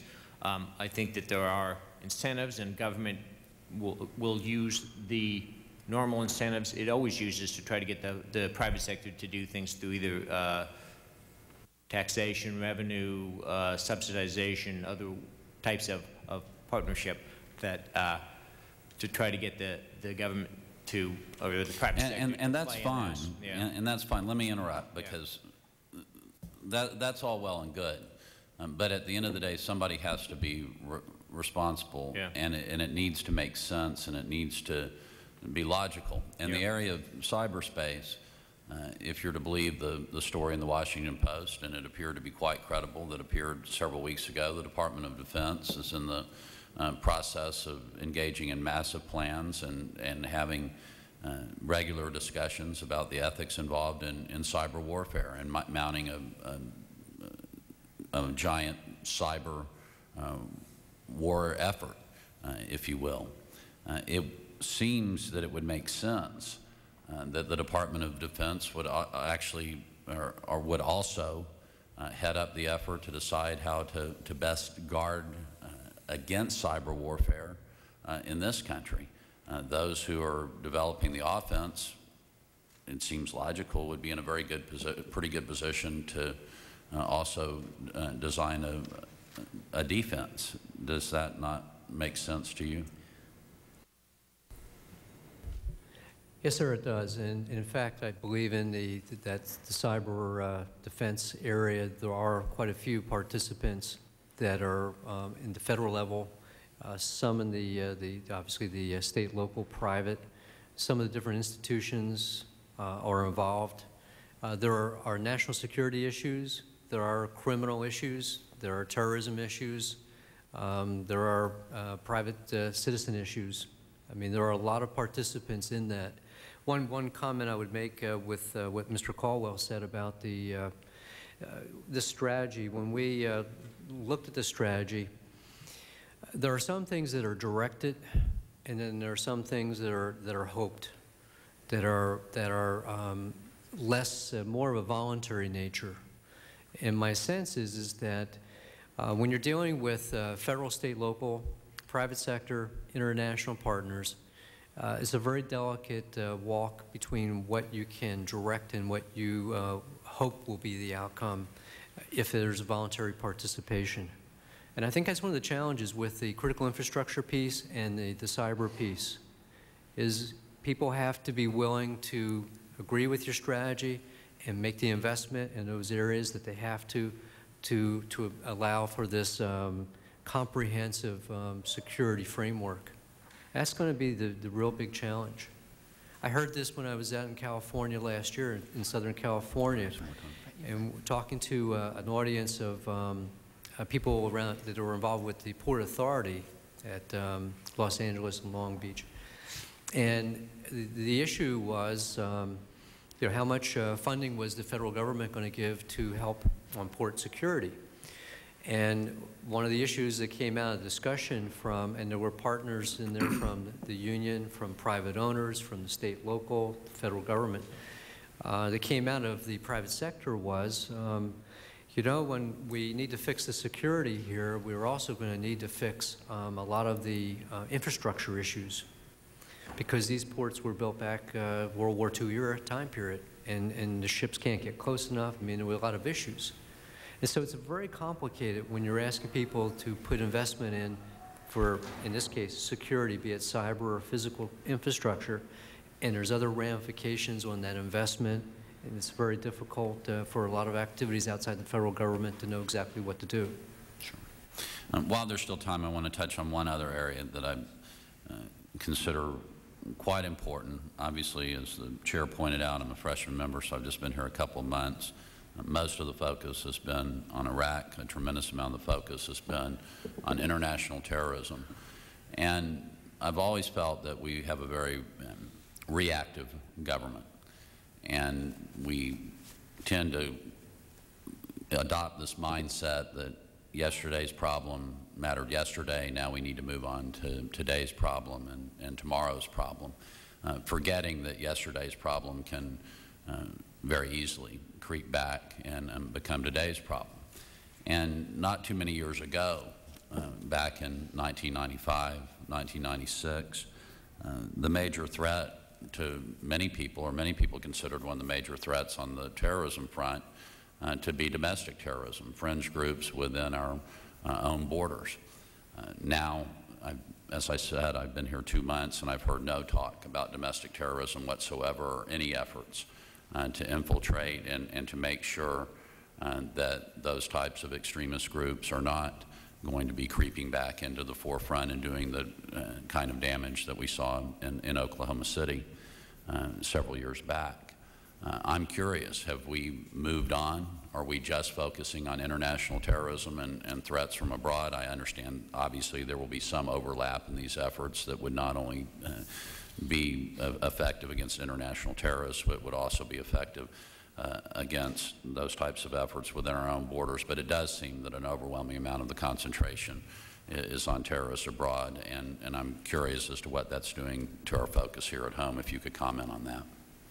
Sir, uh, recently the, the Department of Justice, the FBI, has released a national threat assessment, which we have asked for, and the committee is, has, uh, um, you know, requested uh, that this be done as well, going back to 1999.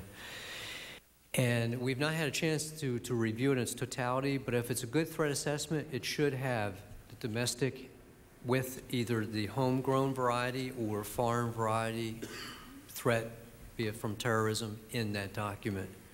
Uh, my understanding is that uh, it is a classified document and there's two versions, but there's a law enforcement sensitive.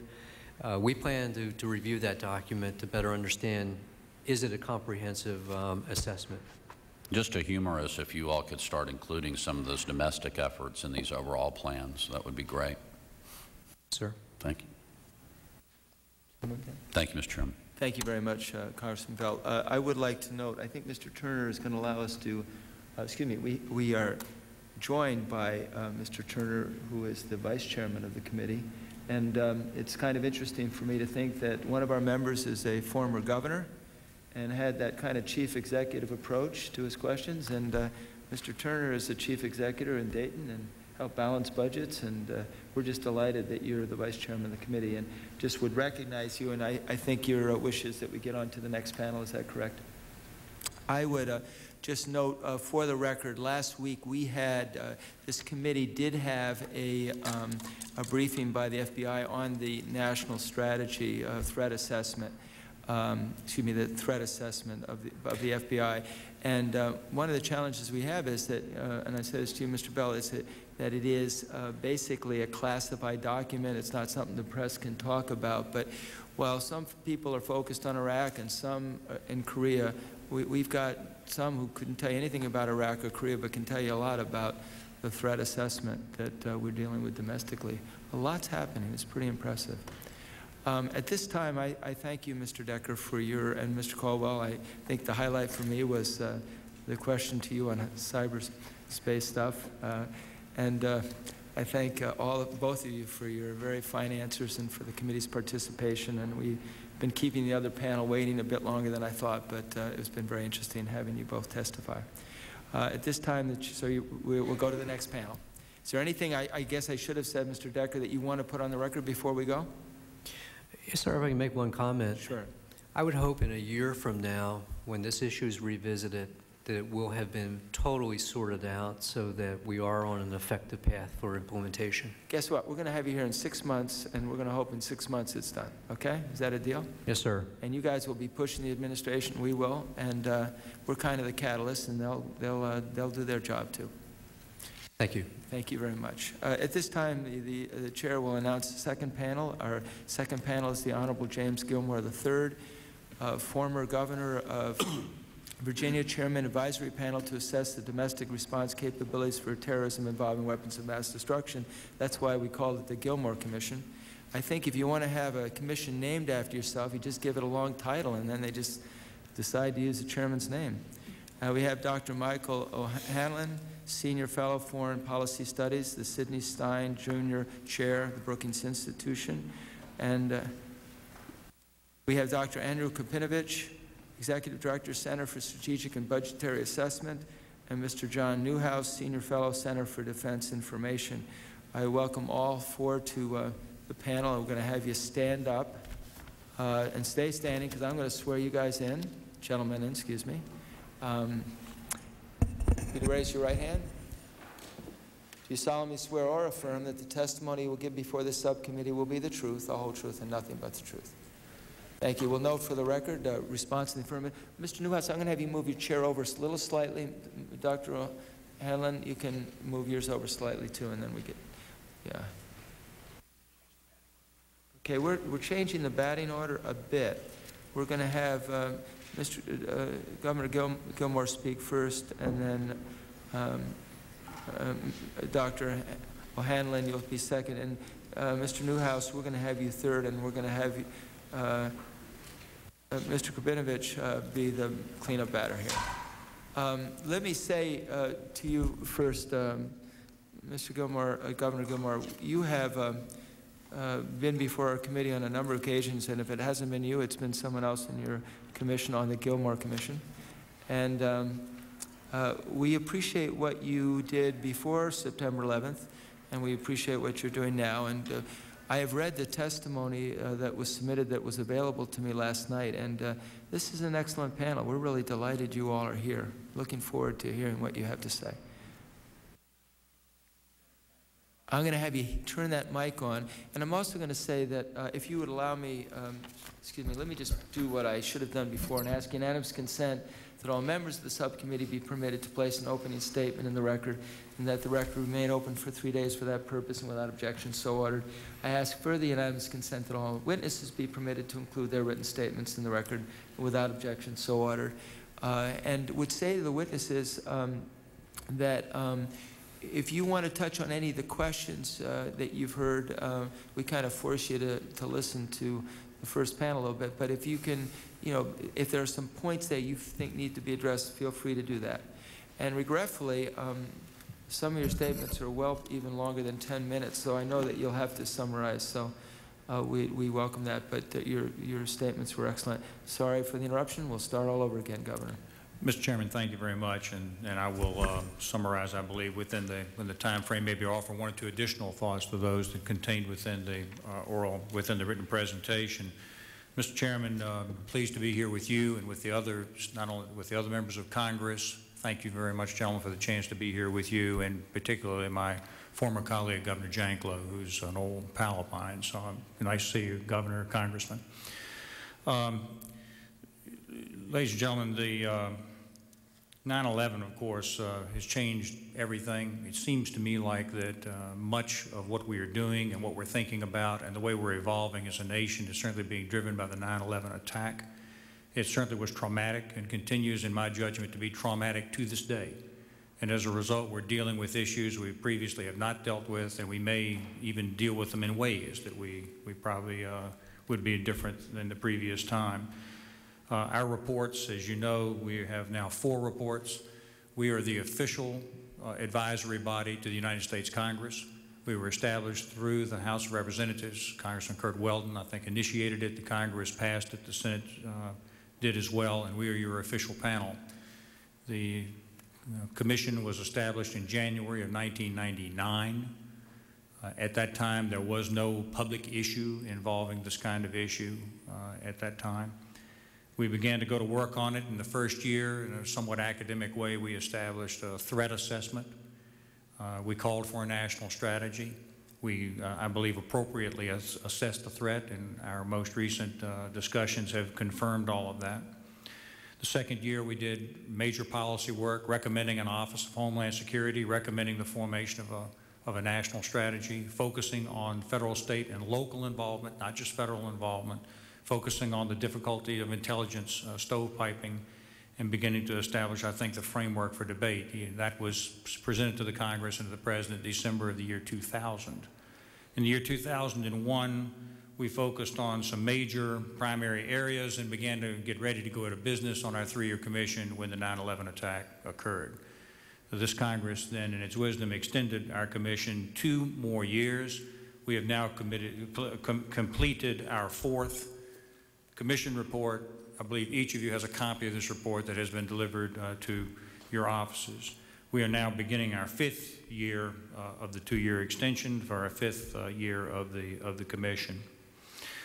Uh, What are my opening remarks? Number one, things have gotten a lot better because we do have these strategies. I think that the commission, the committee here is doing a real service to the Congress, to the public, by focusing on the plethora of the different groups of strategies and how they interrelate with each other and how that uh, bears upon uh, national security. Uh, But at least we have strategies. We have the, uh, the uh, topics being laid out. That's a judgment call in itself, the, the key and important areas. It looks to me like we're in large measure dealing with the correct types of issues. Our panel, in its third year, focused our attention on the value and the focus of state and local involvement within the national strategy and how you engage state and local people. A major portion on health care, which has been a primary focus of our commission through all of its uh, four years, the importance of health care and the health care system the importance of border controls and beginning to watch people going in and out and maybe protect our borders uh, in an appropriate way. The appropriate use of the military, a very profound issue uh, at this time as we begin to uh, tee up the United States military to operate within the homeland, an extremely sensitive and important policy area, and cyber terrorism. These were the areas that we focused on. What do the national strategies focus on at this point? There is an overarching national strategy for the defense of the United States, for the geopolitical position of the United States. There is a strategy for to counter terrorism, a military plan to operate overseas uh, in order to uh, interdict and uh, disrupt people who would attack us from foreign countries, a homeland security strategy, specific areas of weapons of mass destruction, a strategy for that, uh, money laundering in order to break up the finance for people who would conduct these kinds of military operations, such as those we saw on 9 11, a cyber terrorism strategy, and a critical infrastructure protection strategy.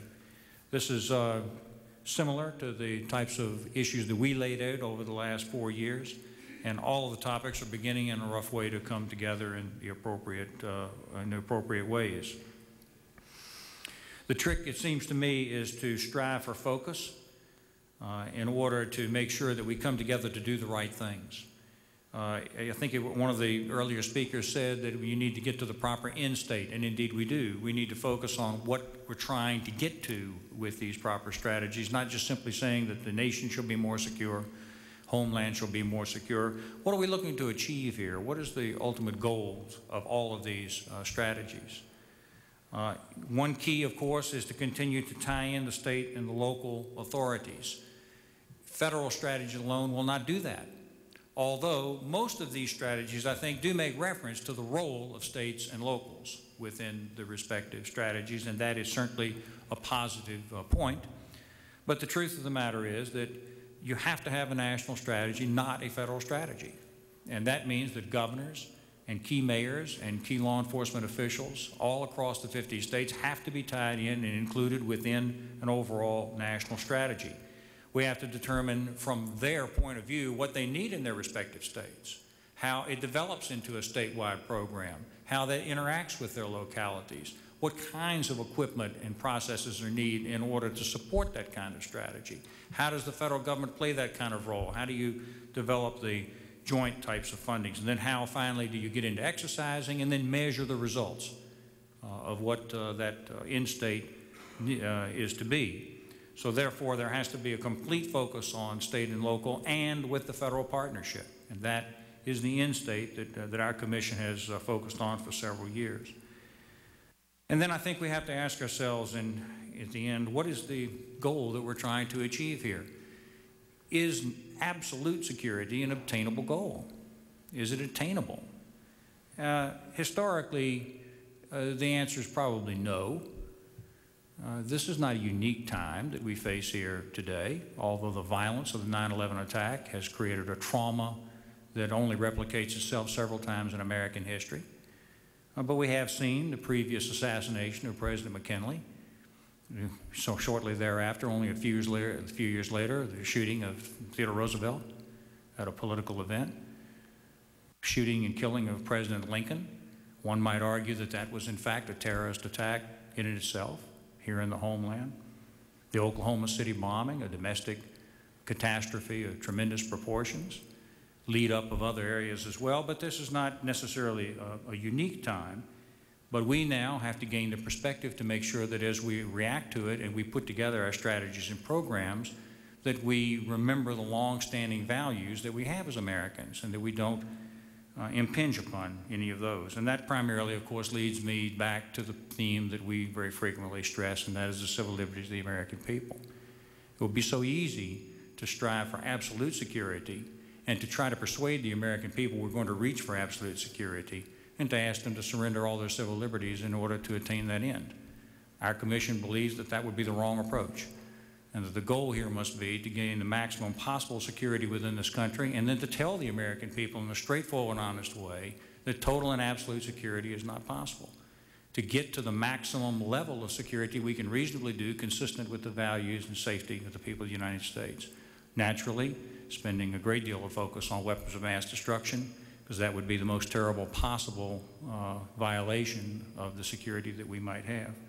But within all those goals, that we believe that the that the eight strategies are a step in the right direction, and we congratulate this uh, committee for going about the oversight work now of determining how the eight can be harmonized best together and work together for the national security. But I urge you to think closely about the value of making sure the states and the locals are contained within that national strategy. Thank you, Governor. It's a nice way to start this panel, and I um, I had forgotten that Curt Weldon had led the charge in this. He's been one of the heroes, I think, on the issue of terrorism well before September 11th, and I'm not sure he gets the credit he deserves. He gets a lot of credit, but I think he deserves more. Um, thank you. At this time, we would call on uh, Dr. O'Hanlon. Thank you, Congressman and uh, Mr. Ranking Member. It's an honor to be before this committee on this important topic, on this distinguished panel. I really want to just make three broad sets of opening comments uh, in keeping with your request that we be brief, and I have a longer statement, as you know, for the record. Um, one I want to make sure, though, you cover the territory that you need to. Okay, well, thank you. Um, I do want to respond in that spirit to your to many of the questions that were posed to the first panel and just give a couple of quick thoughts on the issue of how many strategies is too many and what kind of overall structure should we have. And I'll, i just have a couple of observations. Uh, it strikes me that you do need more than one strategy because there are so many aspects to the war on terror. Uh, and it's hard to put all this into one document. And uh, I fully agree with Congressman Janklow's comment that if you have too many, you lose track of them all. But if you had too few, it would make, I think, for an excessively dense document that might get weighty of its own simple uh, detail. And so what I would propose is thinking in terms of three principal documents and one is the national security strategy, and that has to be the lead document, has to be seen as the integrating document. Uh, certainly in traditional terms, that has been the first document that's been produced before the military has done its quadrennial reviews and its national military strategies. Uh, and then below that, the National Military Strategy and the National Homeland Security Strategy are the two natural next pillars.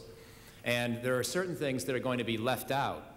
Uh, military strategy and Homeland Security Strategy, for example, don't give a lot of time or attention to economic assistance towards developing countries. And we all know we need to worry about the problem of failed states, rescuing failed states, because they are a concern in the war on terror. They can be sanctuaries for terrorist organizations. They can help provide resources to terrorist organizations. But that is part of the national security strategy. And I think President Bush, speaking of people who don't get enough credit, President Bush does not get enough credit for his foreign aid initiative, the Millennium Challenge account, which I think is a very good idea and I think needs more attention and more reinforcement because we need to hold out hope to developing countries that they will be brought into this globalization process and that also we will prevent their territories from being used as sanctuary or sources of income for terrorists. So I commend the President on that point. I think there's more that has to be done dealing with failed states, and I've got some of that in my testimony.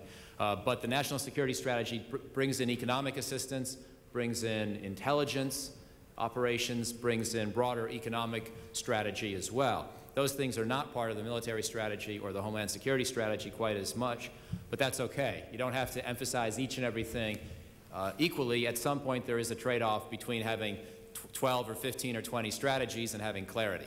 And I think the national security strategy can provide enough detail on issues like economic policy towards developing countries uh, and intelligence that we don't need major additional documents. So again, that pyramid of three separate documents, national security strategy, military strategy, homeland security strategy, for me is enough. I feel like I'm in church. and I'll stick with the Trinity theme and go on now to my two other topics. Uh, one is on the issue of, of, Homeland Security and the Homeland Security Strategy. And now I'm getting more specific. Uh, within this strategy, I just want to make a couple of observations about how well this one particular strategy is working. It is so new, it is so important, uh, and I think we have to spend a lot of time looking at it in detail. And I'll just offer a couple of thoughts based largely on the Brookings work that we've done in the last year and influenced by the work of the Gilmore Commission and others uh, who preceded us with various studies.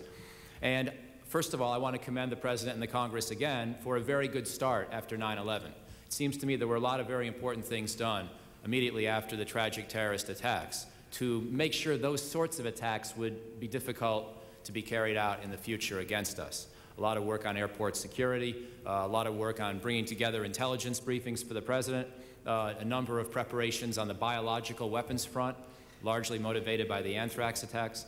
And I think a lot of that work was very good. But I think Congress and the President got bogged down a little in 2002. I think the debate over the Department of Homeland Security became seen as the big issue and it was a big issue, but it can't be the only issue. We have to worry about our actual vulnerabilities, and we can't wait for Secretary Ridge to one or two or three years from now, when he finally has his shop in order, get around to then addressing vulnerabilities. We have to have a debate today on the Homeland Security Strategy and its specifics, what it does well, what it does not do well. I think what it does well is to try to prevent the last kind of attack try to prevent the last war, to use the old adage about military operations. You know, people tend to fight the last or refight the last war. And I think we're getting pretty good at stopping airplane attacks, at stopping biological attacks. We haven't gotten as good at a number of other things, and let me just tick off a couple, and you're very well aware of them in this committee, but it's worth emphasizing. Uh, for example, private sector infrastructure. There is this report that just came out that tries to be remedial and talk about some of the things we need to do, but it's not nearly enough. If you look around this country, there are thousands of chemical production facilities which are vulnerable to attack. And if they were attacked, they could produce clouds of toxic fumes that could produce threats to population centers similar to the Bhopal tragedy in India in the early 1980s. You could have thousands of people die from chemical fumes if these facilities were not well protected. After 9-11, we did a very good job of trying to improve security at nuclear power plants. Perhaps not enough, but we've put quite a bit of effort into that because there are only 103 of them, and we could focus on that problem. But meanwhile, you need to have a longer-term strategy for protecting chemical uh, infrastructure. We have not really done that. So the administration is trusting the private sector to protect its own assets. But an individual private sector owner or businessman that person's incentives are different from society's because the individual owner is trying to make a profit, trying to deal with a competitor, and not very worried about a terrorist attack against his facility. The chances of that are astronomically low. So that person's incentives are to compete with his competitors. But as a society, our incentives are to make sure we're not vulnerable to catastrophic attack against our chemical facilities, against the trucking that ships a lot of these facilities, against a lot of the ships going into Houston and other ports that are carrying these sorts of, uh, of chemicals. Chemicals I just take as one example, but it's a very prominent example and one that does not get the attention of nuclear uh, issues, but probably should. Um, another area within Homeland Security where we're not doing enough uh, is the area of bolstering customs. Now, I think there was a great deal of good thinking done on customs and the Container Security Initiative last year by Mr. Bonner and others. A very good idea. Put American inspectors overseas and watch cargo being loaded before it heads towards American shores. The problem is we're not giving Mr. Bonner any resources to do this job more effectively. Uh, in the 2003 budget, there was no additional money, as I understand it, for this effort. And in the 2004 budget, Customs is supposed to get 60, 62 more million dollars. Not nearly enough for the kind of broader, more rigorous inspection regime we need. Uh, we inspect 2 to 3 percent of all cargo entering this country. It's not nearly a high enough percentage. You don't need to reach 100 percent, but you have to do much better than we're doing today. Another area within Homeland Security that is not getting enough attention is the surface-to-air missile threat against airplanes. And there's been a lot of discussion about this in the last few months since the attempted attack against the Israeli airliner. I think we need to consider government action to help airlines either protect themselves with countermeasures or at a minimum help them and help airports patrol the grounds around the airport. Now, this is a threat that's become very plain, and if those missiles had, had hit the airplane and brought it down, I am sure we would be responding much more quickly to what uh, is a real threat around the world. And so we should not be taking great comfort in the fact those two missiles happened to miss by a small distance. They made the airplane feel a bump. Uh, how much more of a bump do we need? That's a pretty good uh, impetus to policy uh, right there, and yet we seem to be waiting for the airplane to actually be brought down before we make this a national priority. One last area within Homeland Security, and then I'll wrap up on my final topic. Information technology is a very important area to pursue and promote.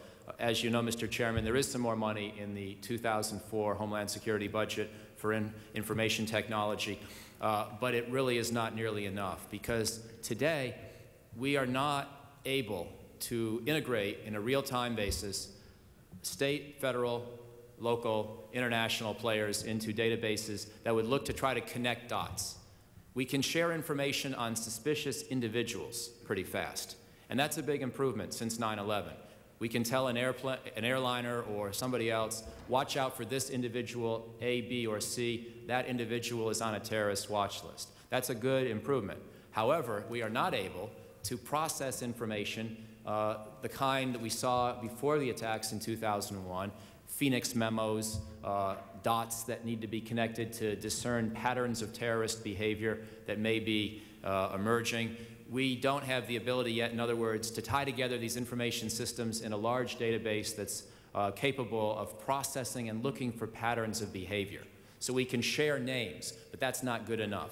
That's a very primitive level of information and infrastructure uh, uh sharing of data. We got to do better. Finally, on, on another matter, and I'll just stop here after uh, briefly mentioning the issue of preemption.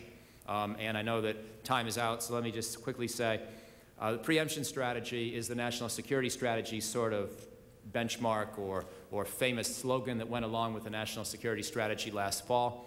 Um, to me, it shows that if you try too hard to make a splash with your national security strategy, you may get yourself into more trouble than you want. Sometimes it's better if these documents are a little more boring and understated, uh, because I personally think the preemption concept is a major mistake as an articulated matter of national security policy. I think it's fine to, to, to why, don't, why don't we debate that issue with okay. you, okay? Okay. Uh, and, and but, but, well, I'll, I'll, just quickly mention uh, one last sentence, please. For me, the problem is on North Korea. North Korea seems to have been influenced by this strategy. At least it's one possible explanation for the current crisis. And I worry that stating the doctrine so plainly has actually contributed to the crisis with North Korea. I like the logic behind the preemption concept, but I'm not sure the United States government ought to be stating it so, blow, so, so boldly and so plainly. Well, I was trying to figure out why I liked you and then reviewed your uh, bio, and you were a former Peace Corps volunteer. And so that speaks well of you, sir. Thank you. Mr. Newhouse. Thank you, Mr. Chairman. Appreciate the opportunity. Is it turning on? You should get a light that turns on that. Green light Green light will do it. If it's orange, watch out. I appreciate the opportunity. No, it's not on. Keep talking and push it down. Let's see what you got there. Push this button down here. 10, 9, 8, No, 7. No, Okay. down to below, Mr. Newhouse, down here, where it says. 10, 9. No, we're- I'm sorry. There it, there it There goes, we go. okay. Great. You just didn't know what part to push there. I was about to say that I appreciate the opportunity to offer a few thoughts uh, with regard to this tough and complex subject you're, Well, you're we dealing with. appreciate you being here, sir.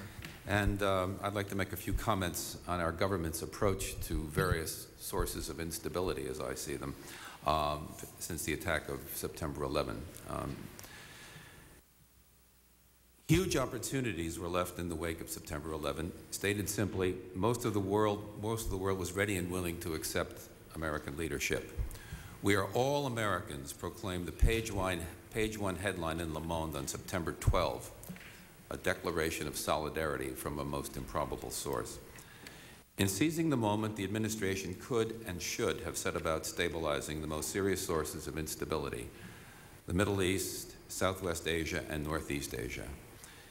In the Middle East, they could have deployed their new leverage to push Israel and the Palestine Liberation Organization into serious negotiations.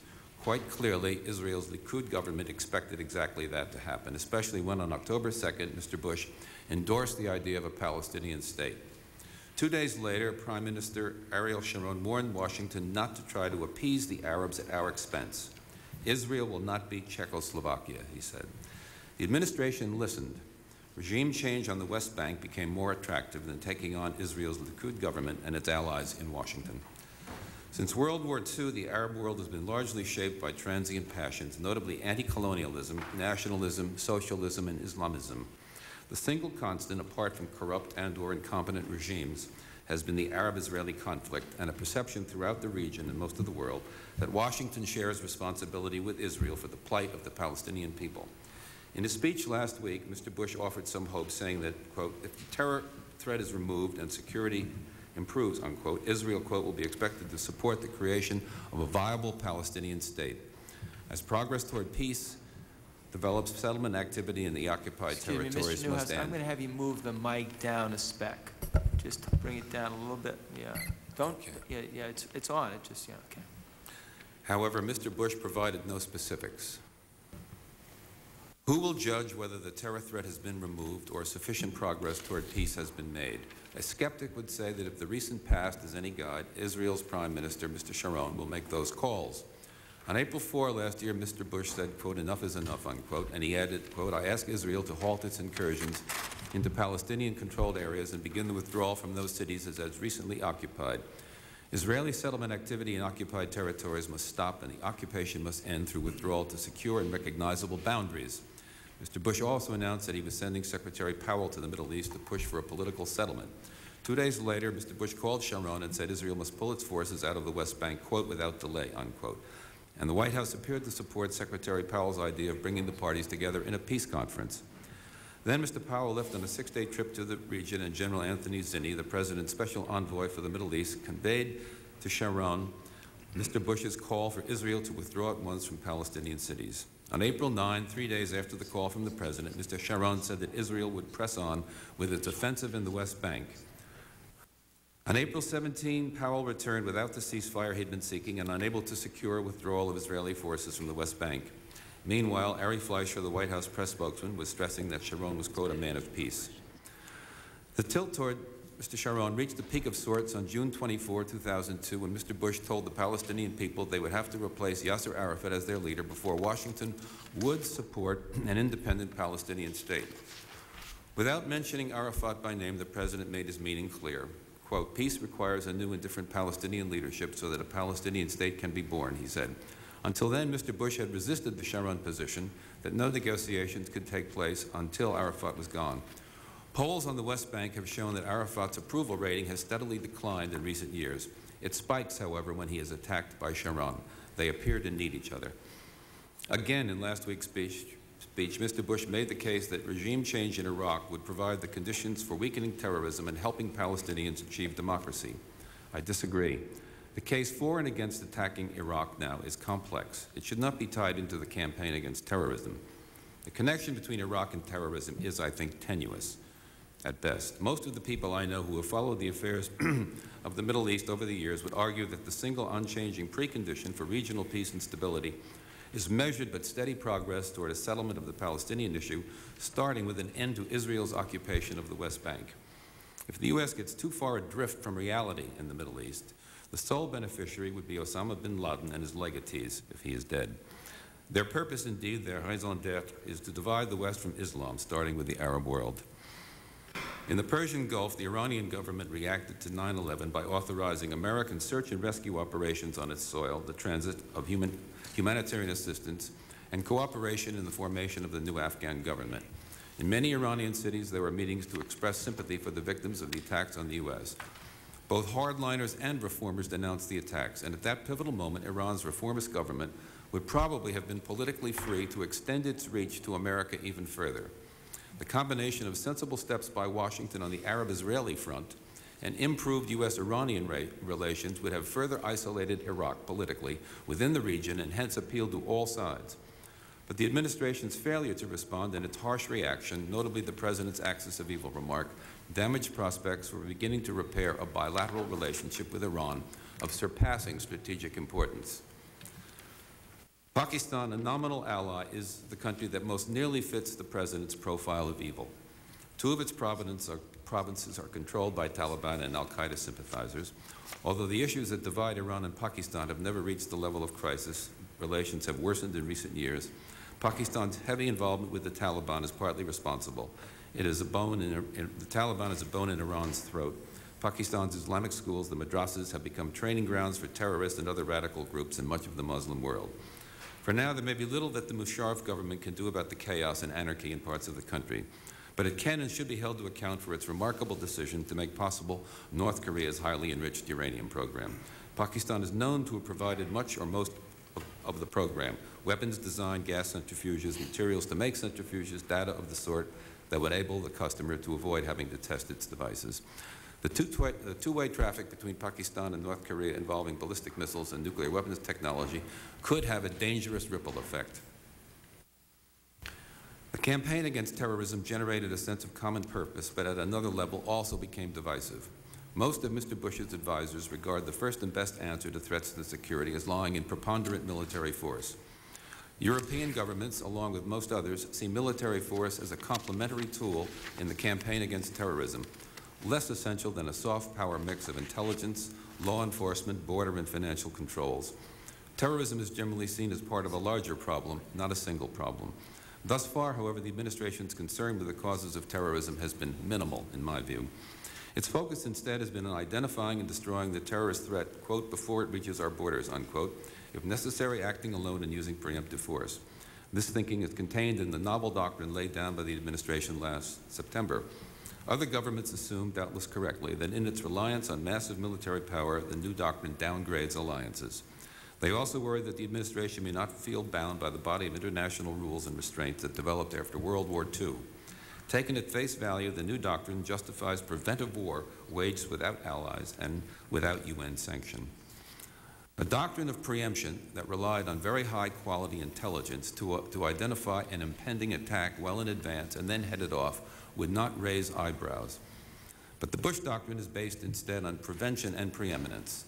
That is, taking military power to a level never before seen, that one that would so intimidate all parties that no one would even consider an attack of any kind against the United States. Threats to American interests would be not just discouraged, but precluded. Quote, full spectrum dominance, unquote, was a term for it in defense circles. Anticipatory self-defense is a phrase that Secretary Rumsfeld has used. In practice, such a doctrine harbors many risks. If I'm banging on too long, please cut me off, Mr. Chairman. Keep going.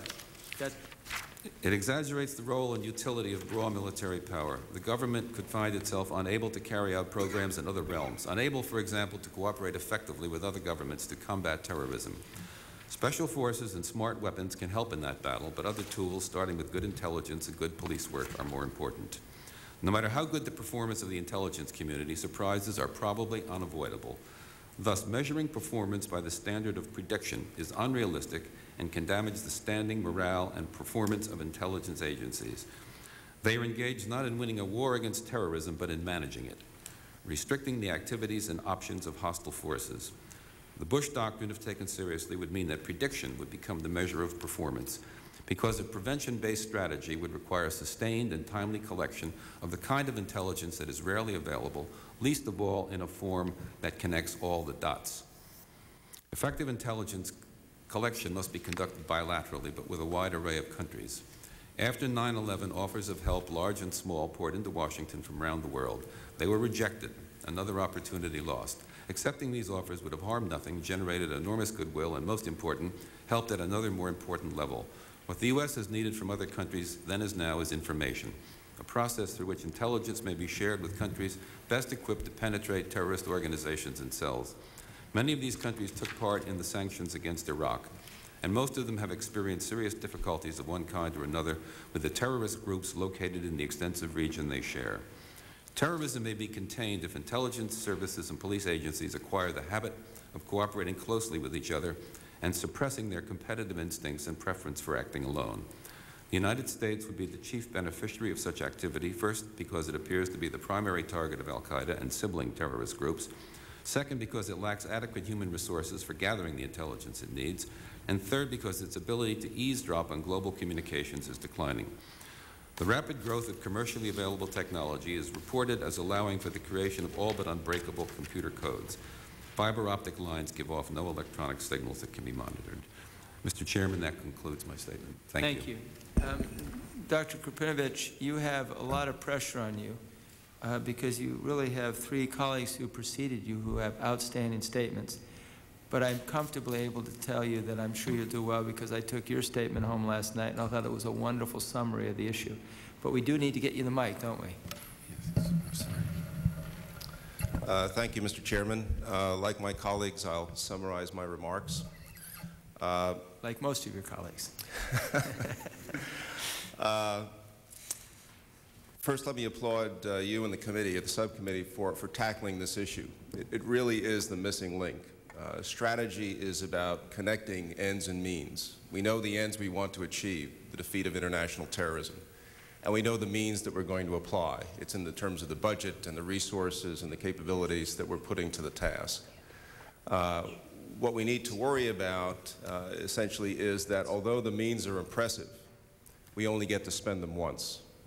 If we choose the wrong strategy, or if we choose the right strategy but do not have sufficient resources to implement it, uh, what we end up doing is, is not only wasting resources but also wasting time, neither of which can be recovered.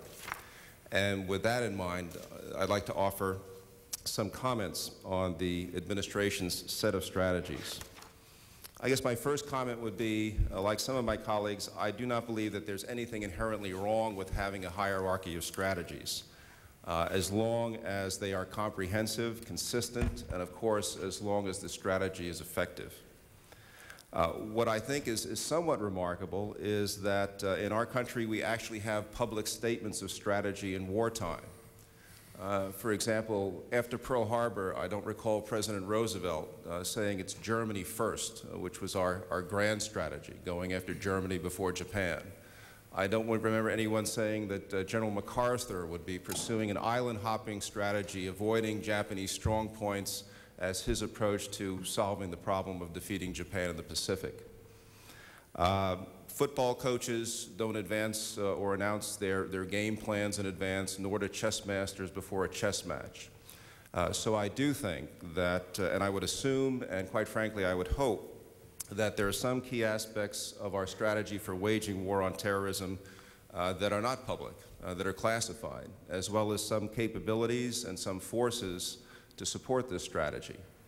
On the other hand, we have to find some way of squaring the circle because Congress is responsible uh, for the power of the purse. They are responsible uh, for the war uh, powers of this country. And so Congress must identify a way to assess the administration's complete strategy. And uh, I, I raised this dilemma. Uh, on the other hand, I, I, have no, no solution for this dilemma, certainly uh, not given my status. With respect to the strategies themselves, I think there is much to applaud in terms of the, the effort on the part of the Bush administration.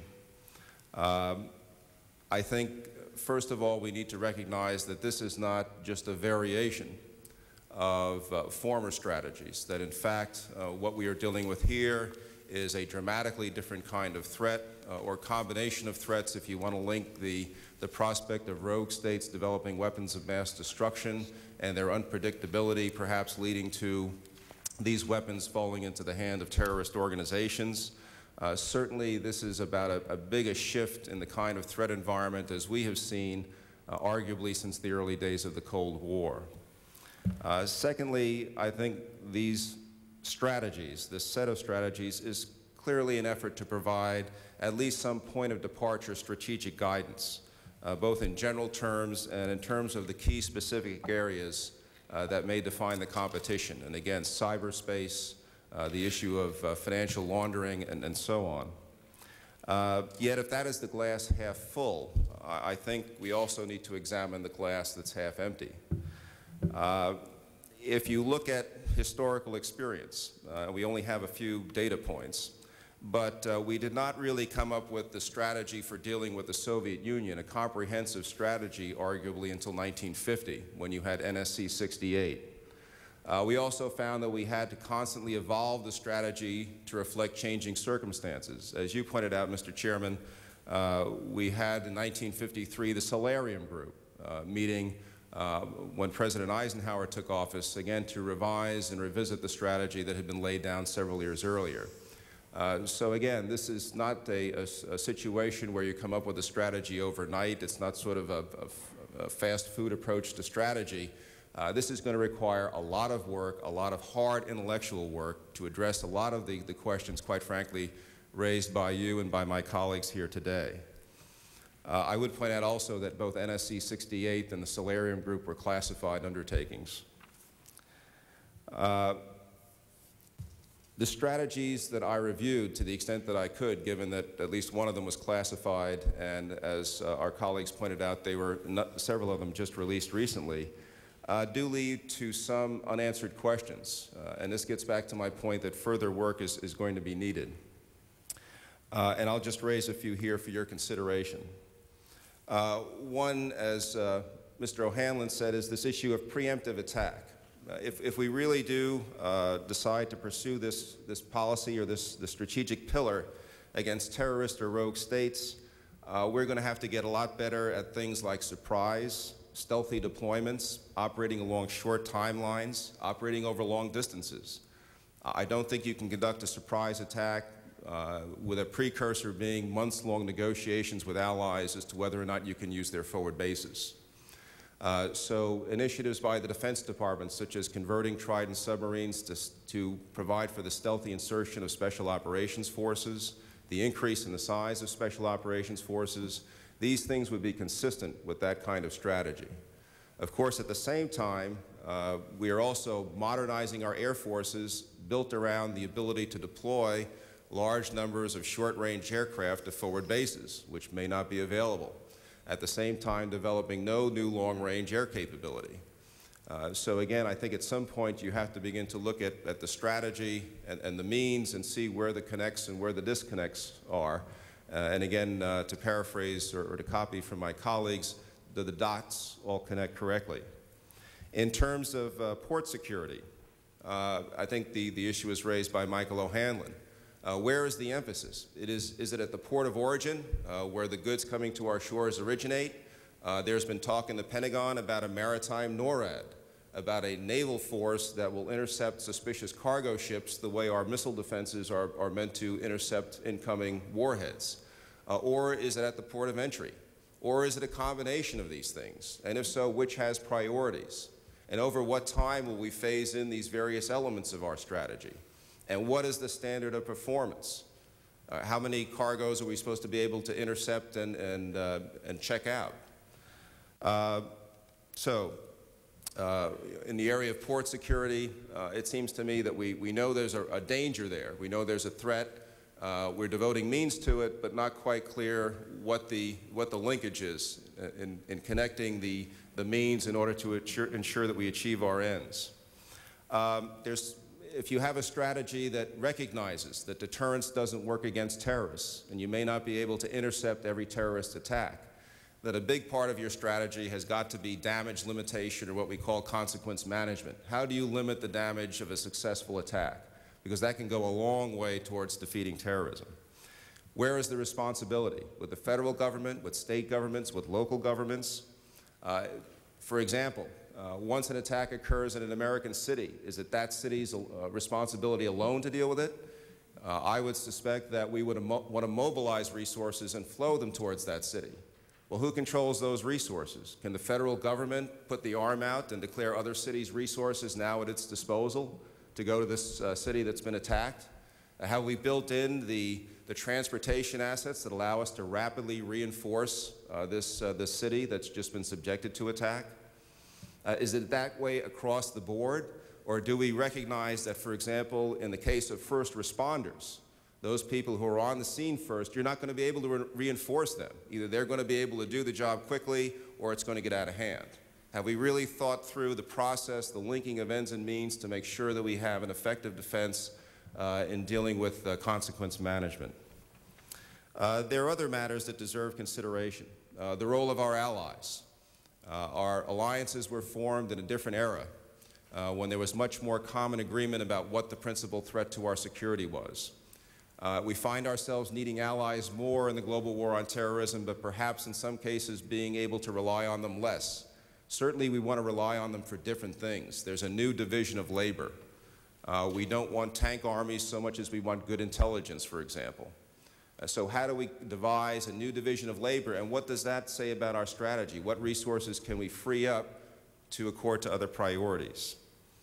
Um, I'll just speak very quickly on cost-imposing strategies. It's kind of an arcade term, but it's a strategic term. Uh, bottom line, they spend a million dollars, we spend a hundred billion dollars. That's an awfully effective strategy. Part of our strategy, part of our strategic development has got to be how are we going to offset their ability to pursue cost-imposing strategies on the United States? In summary, I would say that the administration's efforts represent an important initial effort to address the most dramatic shift in our threat environment since the early days of the Cold War. Uh, the effort is both impressive and I would argue incomplete. And we are only at the beginning of a major process primarily intellectual, to come to grips with this threat and make sure that we have a strategy that can effectively apply our limited resources to achieve the, the very worthy ends that we seek. Thank you, Mr. Chairman. I thank the gentleman. I uh, really appreciate um, all four of your testimonies, and uh, I am so eager to jump in, but I have, uh, I'm going to call on Mr. Janklow uh, to, to start. I would just make a, a comment uh, that will tell you where I'm coming from. At this table, we had an individual who uh, was a doctor of a major medical magazine, and he said, he said, I want to put something on the record, and, he, and this is what he basically put on the record. He said, um, my greatest fear is that a small group of dedicated scientists within a country can create an altered biological agent that could wipe out humanity as we know it. That to me was uh, a very real statement of why we can't wait for a lazy country to step in and stop a small group of scientists from creating a biological agent that could wipe out humanity as we know it. In other words, it's not just those countries that seek to work with terrorists, but those who tolerate them. And um, there's not a chance in heck that, that I would think that we would wait which gets to a topic that you had brought up, Dr. Hanlon, and all of you did, and that's the whole issue of preemption. And my view was that what we would have over the course of the next few months and maybe years is with the world communities how we define when preemption has to happen. Um, So um, I took advantage that I don't often do as chairman to just jump in here, but Mr. Janklow, you have the floor for 10 minutes. Thank you, Mr. Chairman. Thank all four of you gentlemen for your, for your testimonies. Uh, Dr. O'Hanlon, you, you, you were specific with respect uh, to certain areas. Um, when, when we look at the structure of America, I'll call it the infrastructure of this country, given the way history's developed, or the, we've developed, but for the military bases, the banks, the jails and prisons, nothing's been built secure. Everything, 100% uh, of our country is open.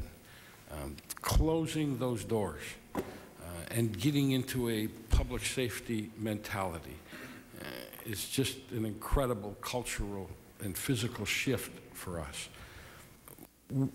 Where do you, what do you think is the threat assessment with respect to our, our public utilities, specifically the electrical grids? Um, all we have are fences that say high voltage, keep out, where we have the transformers. Yet disabling a transformer is probably one of the easiest things in the world to do. Uh, there isn't a backlog of transformers in this country on the shelf um, in the event someone were to start to bring the electrical system down, you could make whole areas of this country uninhabitable for months. Were it to be done in the wintertime, uh, it's incalculable how, how we could deal with it and, and maintain our, our standard of living um, or not turn on each other.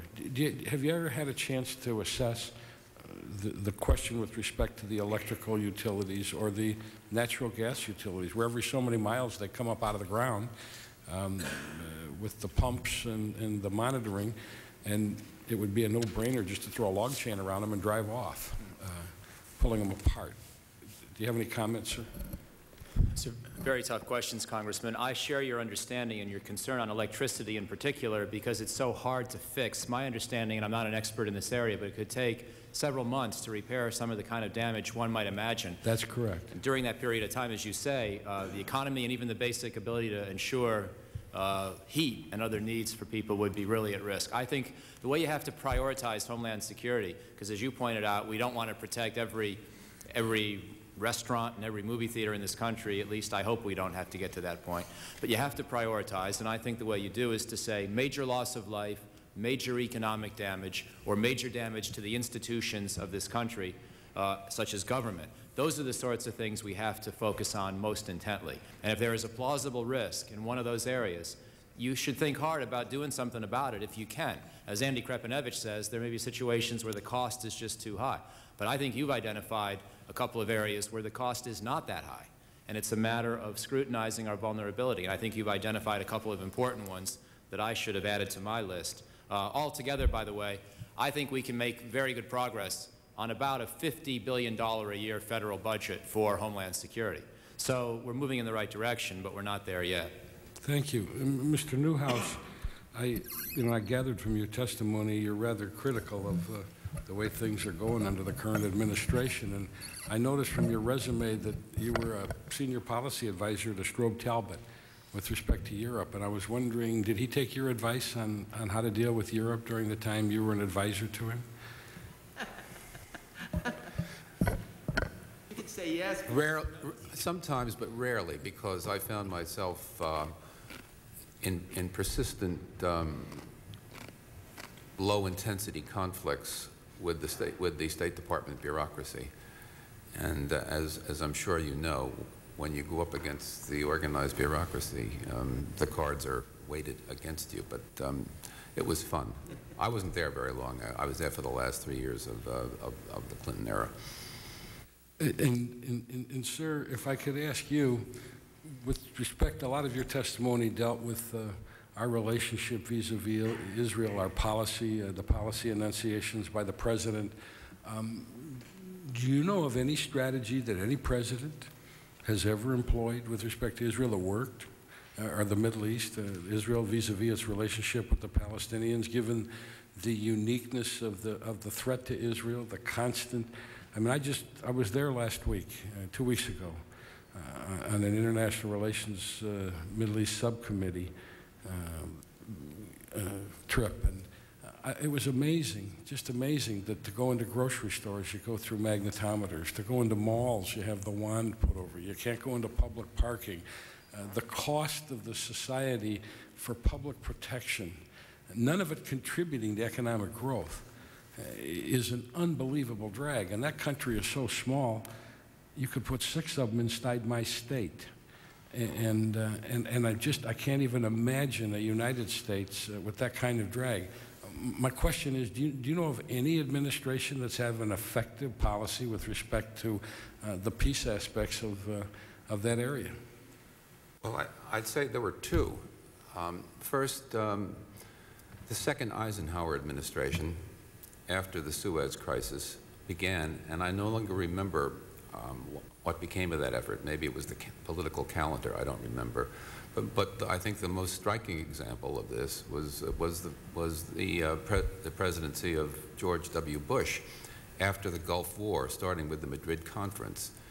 And what, what transpired during the Madrid Conference when he had all the key players around the table uh, led eventually to the Oslo peace process.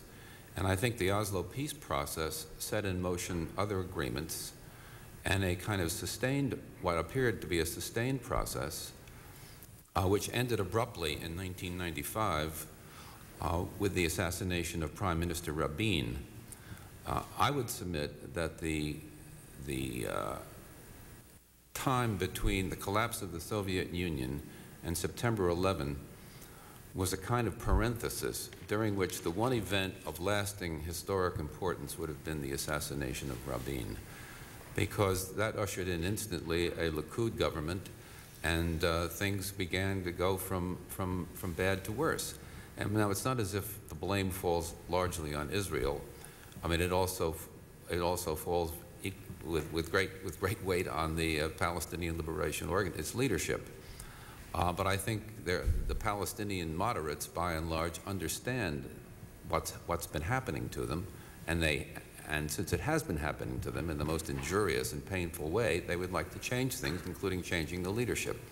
They can't change their leadership so long as you've got this nexus of political heavyweights, starting with the, the Likud party in government, uh, that lashes out at, at the PLO leadership and um, quarantines it, makes a hostage of its leader, uh, says it they, they, you have to change this. Sir, sir, if I can, if I can ask you, if let's just assume that in this country we were dealing with a um, an element, a group of people, uh, where the leader funds uh, contributes funds towards those that are blowing up our people and our facilities, where they contribute support, public rhetoric, um, to give aid and comfort to those that are trying to uh, drive us out of the area.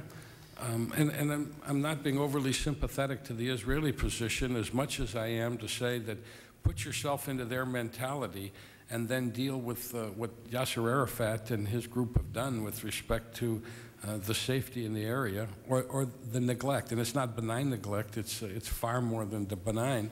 Um, and one can understand the, uh, the activity that individuals take at self-preservation. Um, I, you know, I, I visited the, uh, um, the American military when uh, Patriot missile units that were in Israel a week ago, and I, I, I was just, I frankly was dumbfounded at the, uh, at the attitude that all of those soldiers had, the men and women had, all the way down to the lowest enlisted ranks as to what their mission was and how important they felt they were for the security and stability uh, in that particular area. I'm just wondering if you have any insight, sir, as to, how, coming back to Homeland Security, what is it that we can do in this country to make it safer? I mean, obviously 9-11, um, we found out how vulnerable we were, and, and to the extent anybody's committed and was willing to commit suicide, you can wreak a, a powerful lot of damage on the United States over and over and over. What is it that we're not doing that we ought to be doing specifically, if you could list the things, Mr. Newhouse? Well, I began my statement by suggesting what I thought we should do first and foremost in, in bringing stability or greater stability to the region, and I mean the entire region. And that is to restart the Middle East peace process. No, no, I mean the United States here. Yeah, but, but only we can do that. I mean, nobody else can restart the Middle East peace process. Okay, so The- you're the- suggesting, The sir- Europeans can't do it, the, the quartet, that is to say, the combination of the UN, the European Union, Russia, uh, they cannot do that without the other member of the quartet, the United States, taking the lead. It's Okay, just so what you're, unrealistic. what you're suggesting, sir, is to the extent that we, the Middle Eastern peace process gets started or gets on a better track, things will be safer in the United States. Yes, indeed, because I think that not only does, does the region uh, use the Arab as the, the Palestinian-Israeli issue as the principal, uh, one of the principal tools for generating recruitment uh, in the region, but I think that the larger part, most of the Islamic world, is profoundly sympathetic to the Palestinian cause. Would that explain the, the explosions in, for example, Bali in Indonesia? I don't know, sir, um, partially, because, I mean, I think these things are really all connected. What, what, it, what is it that, that inspires an organization like Al-Qaeda? It's more than one thing. In, in, I mean, I think the leadership probably wants to, to divide Islam from the Western world, if it can. Um, but it uses what, whatever, whatever grievances, tools that it has available to it, and this is certainly a big one. Thank you. Uh, sir, can I just say, make one, with response to one of your other questions, um, when you said, well, what, the, the, the, these people are being terrorized and killed, I just make two comments.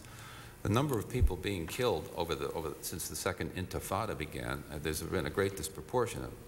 A, a, a tragic number of Israeli citizens have, have been killed, that's true, but a quite considerably larger number of Palestinians have been killed in the process, and a great number of Israelis, if they were sitting here, Israelis whom I know personally, um, would, would strongly agree with what, I, with, what I've said here.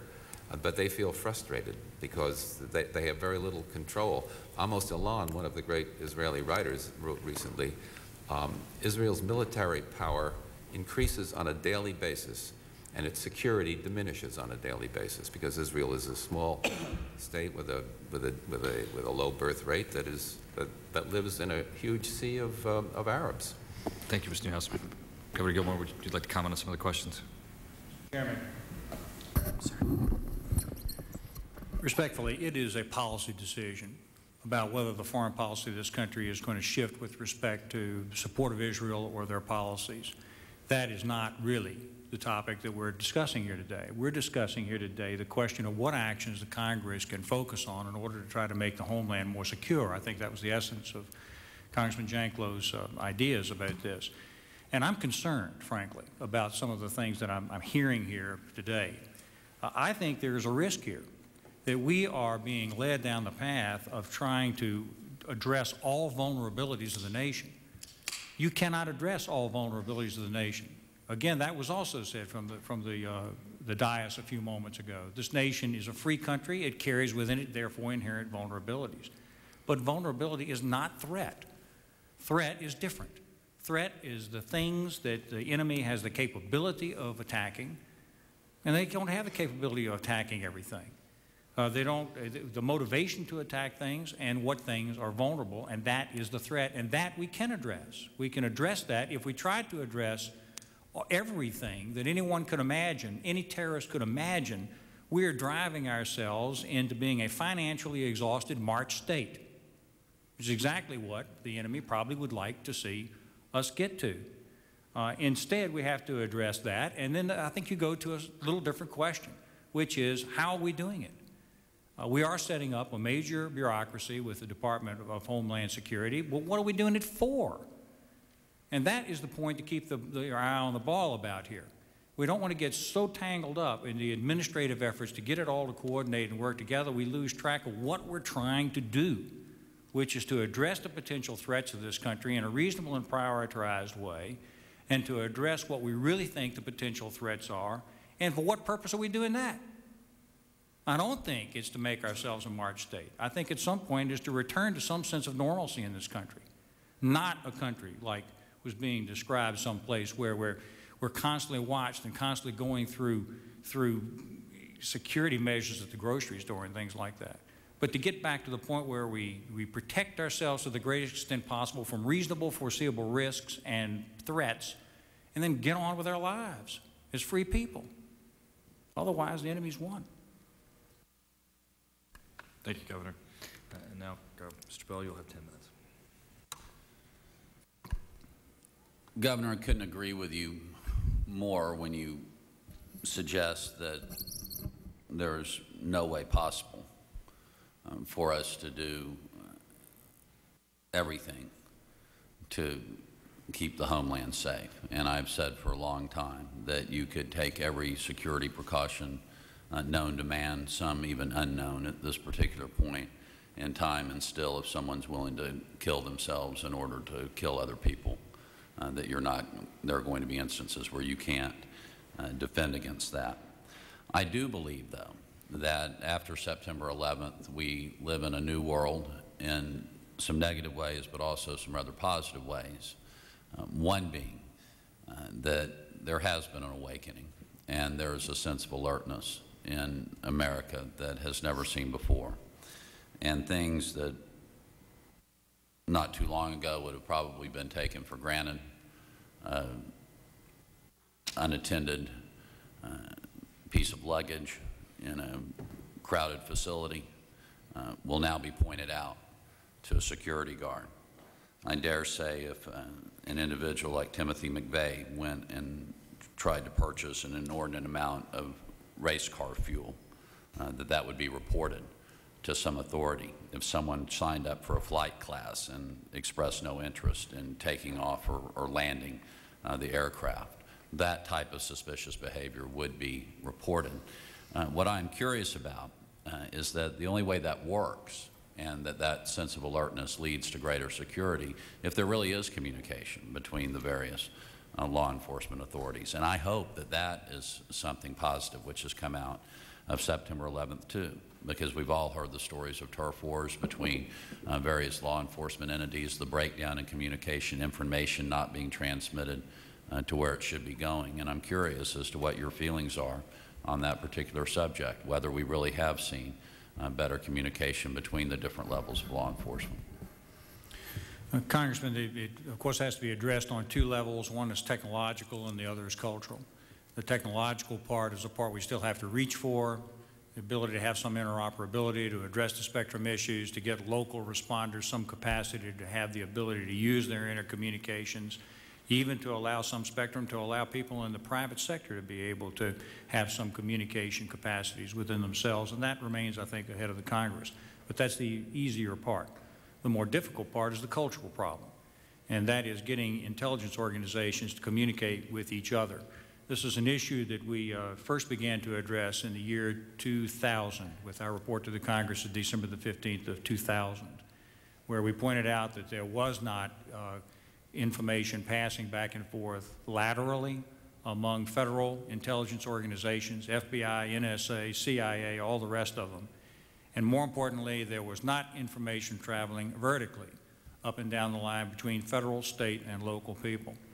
We've pointed out that while within the federal system, clearances are granted routinely to elected officials uh, in the Congress, there are no clearances granted routinely to people in the state bureaucracy who actually have the primary responsibility to deal with these issues. I was the governor of one of the two states directly attacked uh, on 9-11, North New York and Virginia were the two states that were directly attacked.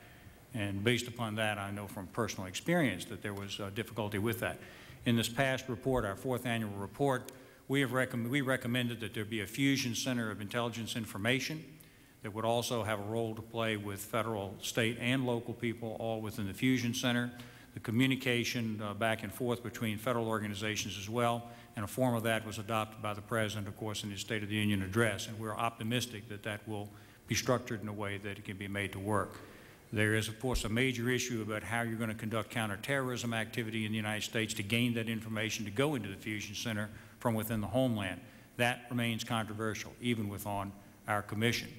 Uh, but we think that progress is, in fact, being made. I was briefed at the White House recently uh, by Admiral Abbott, the, the acting security, Homeland Security Advisor to the President, uh, who has pointed out that there were efforts, there are efforts being made to create those channels up and down the line between federal, state, and local people Last point, Condition Orange uh, has been widely criticized uh, when it was when it came to pass, and uh, you know I might even have a criticism or two of my own uh, of that, but it does have some value. Uh, value in communicating with the terrorists, value in communicating with the American people so that there's not a shock if there's another attack, which would cause a stampede, an overreaction, which I think we all are concerned about. But also that condition also triggers automatic uh, communications between federal, state, and local people, which I thought was maybe the most significant point. Thank you. Dr. O'Hanlon and Chairman Shays pointed out that he liked you when he realized that you had served in the Peace Corps. I liked you when you started making my case for me on port security, and I greatly appreciate that. And when I was home a, a, a couple of weeks ago, I started talking to people about this, basically to raise the flag and to see who might uh, salute it. But uh, I'm, I'm curious where we go from here because it's a very legitimate point that when you look at the number of petrochemical plants that we have located along the uh, Houston Ship Channel and realize the, the vulnerability of those plants. And I, and I hope that the point you're trying to make is right now you can look at that and say, well, that's your problem or that's uh, their problem. Um, but if there is any kind of strike against that type of plant, then, as you point out, it becomes our problem. Uh, so given that, uh, I'm curious as to what you would recommend. And one thing that I've considered, uh, haven't actually proposed it yet because I want to get input from uh, other people such as yourself, uh, but should, there, should we be looking towards some type of subsidy uh, program for those types of facilities to provide uh, a certain amount of federal assistance? Because I do agree with you, there is a line. There, is an, there is an economic line that, that they will reach. Uh, I think most of the plants in my district have, have taken extraordinary measures. There's one chemical plant that I visited that I thought I was going to have to have an MRI conducted before I would gain admittance. Uh, they go through extraordinary um, precautions. Um, but there are, there are limits, and before they're going to go to the full extent, uh, I think they are going to be looking to the federal government for some kind of assistance, and I'm curious as to what your feelings on that would be. Thank you, Congressman. I think, and also wrestling with the point that Governor Gilmore made about how we don't want to get so caught up in homeland security that we bankrupt the country, it's a tough balancing act to work out. Uh, in our Brookings study, we came to a couple of conclusions. One of them is that at the federal level, we do need some more capability in institutions like the Coast Guard and in some of the port security funding to develop port security plans that right now I think federal money needs to go up doesn't necessarily need to go up astronomically. The Coast Guard budget already is increasing, but I think the Coast Guard's fleet needs to get bigger. That's one piece of it, but it's not really your primary concern. Your primary concern is actual site defense at the place that we're talking about. And there I think, uh, personally, I'm not strongly opposed to the idea of subsidies, but I'm more um, intrigued by, just based on my uh, research and my discussion with economists at Brookings, an idea that they came up with in the course of our study, which is um, require a certain minimal level of regulation uh, and a minimal level of security legislatively, but leave the primary effort to the private sector, require many of these facilities to have terrorism insurance, then the insurance market will work to give people incentives to adopt best practices because they can offer lower rates to people who are uh, adopting better security practices. So that's a partial answer. It still doesn't get to your real concern. How do we make sure these facilities aren't themselves bankrupted because we're asking them to uh, adopt a more secure workplace. But again, I think if the, if the level of federal regulation or state regulation is relatively modest, and we say you got to do certain basic things, uh, have monitoring of all your major entrances, have a certain number of security guards on duty, have a certain uh, number of tests per year of your response capability, and then leave it to the private sector insurance markets to help give these people incentives to develop best practices, that may work better than either federal subsidies, because there are so many facilities to subsidize, I don't know how you draw the line, or uh, simply trusting the private sector to get it right on its own. One more point, if I could bring in a separate example, and I'm sorry to go on, but skyscrapers. I worry about anthrax being introduced into the air intakes of skyscrapers. As far as I know, there is still no federal requirement or state requirement in most places that these air intake systems be elevated above street level or otherwise protected. Now, we don't want to fortify every building in the country, uh, and we certainly don't want to mandate this happen immediately because it would cost too much. But I think for large buildings, there needs to be a certain push by the federal government for these buildings to get more secure in how they handle their air circulation systems. And then again, the insurance markets can give them incentives to do even more. And they can choose for themselves whether they can afford the additional measures like filtering systems in their air circulation devices and, and that sort of thing.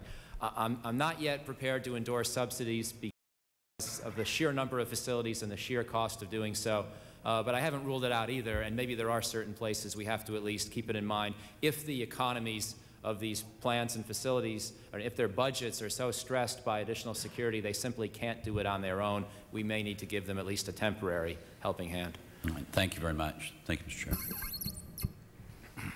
Governor Gilmore, I appreciated your comment concerning the sharing of information between local, state, and, and federal governments. Uh, I served as mayor for the city of Dayton, and uh, we actually were one of the few cities and communities that had actually held weapons of mass destruction exercises prior to 9-11. Uh, Attorney General John Ashcroft had attended those exercises, and it was um, phenomenally helpful to our community when 9-11 occurred because we knew uh, who was in charge of what, uh, what streets were to be closed. Uh, people didn't run to the phone book to figure out what agencies we needed to coordinate. There had already been an effort uh, to put together coordination uh, with Wright-Patterson Air Force Base, the FBI, the, the sheriff, and, and the like. Um, also, recently, I attended a, a presentation uh, by NCR concerning the application of business data collection software to Homeland Security issues. And one of the things that, uh, that they discussed um, is that the business process of handling data and information technologies is starting with the questions of what information do we need to know and working backwards and designing your systems. So the question I have for you, uh, Governor and uh, Dr. O'Hanlon, um, is in this process of making certain that we are sharing information, um, what we should be doing, what should we be doing, or how is it going in our efforts to define what do we need to be knowing, what information is it that we need to make certain that we avail ourselves of as we look to sharing that.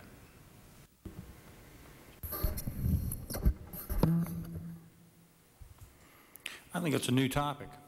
Uh, the issue of uh, of what type of data, I suppose you're really referring to, if you talk about a national cash register type of uh, presentation, NCR type of presentation. Uh, in, it was interesting in the discussion because they talked about, do you start with looking at what data you have and start sharing that and coordinating it, or do you start with the question of what do we need to know and at what levels do we need to know it? And they, they clearly indicated that even from the business process, and they believe from the government and the Homeland Security process, um, that there should be a process of defining what are those things that we believe that we need to know as we go through setting up our systems and sharing that information. I well, there's, there's certainly been a lot of discussion that's gone on about the, the DARPA program that uh, the, the, Pentagon was attempting to conduct, uh, the total information awareness. It was it depicted at its inception as being so broad that it just scared the living daylights out of everybody. And I think this Congress decided to, uh, to put the clamps on that somewhat. So that was, I think, uh, maybe a, a, starting effort to determine what you need to know, and it may have been defined so broadly that it, that it, wouldn't, it wasn't going to go anywhere. Uh, so uh, it may be that we're, that, that if we can go through a definition process, we can preserve civil liberties and the privacy and anonymity of people as Americans at the same time that we are uh, providing for the capability of our counterterrorism people to focus on the right kinds of individuals or people but that's a definitional process that has to still be gone through. I think it has to be handled with the greatest care. And the reason is that today we live in an America that has two elements. It may, uh, I'm not sure it's unique at this moment, but yeah, it might be. One is the American mania to fix and manage out problems. Uh, if we say that we've got this problem here, then this great managerial class called the United States of America in 2003 is going to try to find some technological or managerial approach to fixing the problem, and that would go to the question of how you define that. And the second is probably unique in the history of, of mankind is this enormous technological society we live in and the capacity to gather data and to hold data and to keep data uh, which does uh, threaten the potential privacy and character and the values of the American people. Uh, You have to strike that balance. Uh, I think it is entirely a policy question. You will be led, Congressman, to the sense that it is a technological question and a managerial question. It is not. It is a policy question of how much you are going to permit to be accumulated in order to preserve the security of the country. That is a judgment call based upon the values you bring with you to the Congress.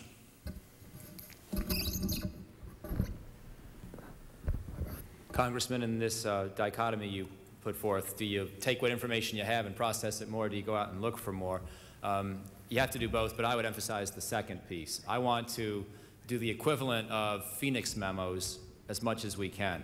So what I mean by that, uh, I would like to see local, state, and federal law enforcement authorities sharing information. If we happen to see 10 places in the country where there are people casing airfields, all on the same day or two, that sort of thing, you, you, want, you want to know that it's not just uh, one isolated place, and it happens in one place in South Dakota and one place in Virginia and one place in Maryland. No one ever knows that it's happened in all these places simultaneously. What you want to do is piece that information together or have it in some kind of a database where uh, somebody with, with a creative idea can write a computer program and say, am I seeing any suspicious behavior that's systematic?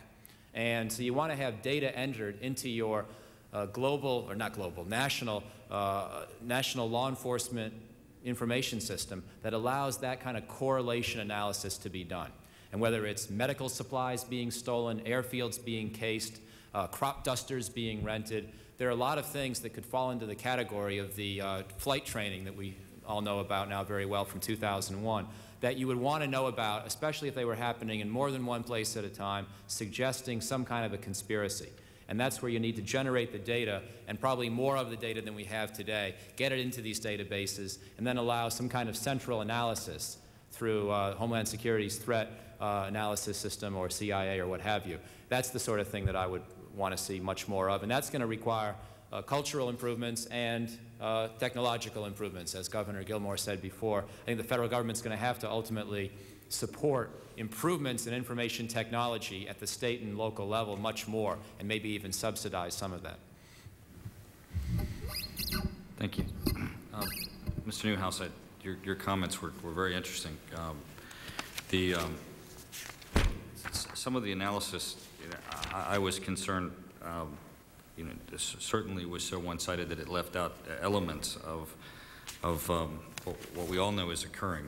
Um, you state in your, your statements that um, uh, one of the issues um, that needs to occur is starting with an end to is Israel's occupation of the West Bank. I, I didn't notice in your comments the, um, the, the, call for the, uh, the ending of suicide uh, bombing attacks. Um, you, your, your statements appear to be solely on the, the responsibility of, of what we believe are the responsible states and the democracies interacting instead of on um, uh, the uh, uh, the, the parties that are, are, doing very egregious acts, and I'd like some of your comments about that. Well, they certainly are egregious and self-injurious. They are also, if you like, a response to what they see as the illegal occupation of, of their territory and the settlement activity, which everyone has said, including President Bush, has got to stop. Uh, they are also acts being committed by, if you will, rejectionist groups who are also terrorist groups. Um, and uh, the leadership, Mr. Arafat's leadership, which is a, which is a really an awful leadership. It's, it, it, it's corrupt.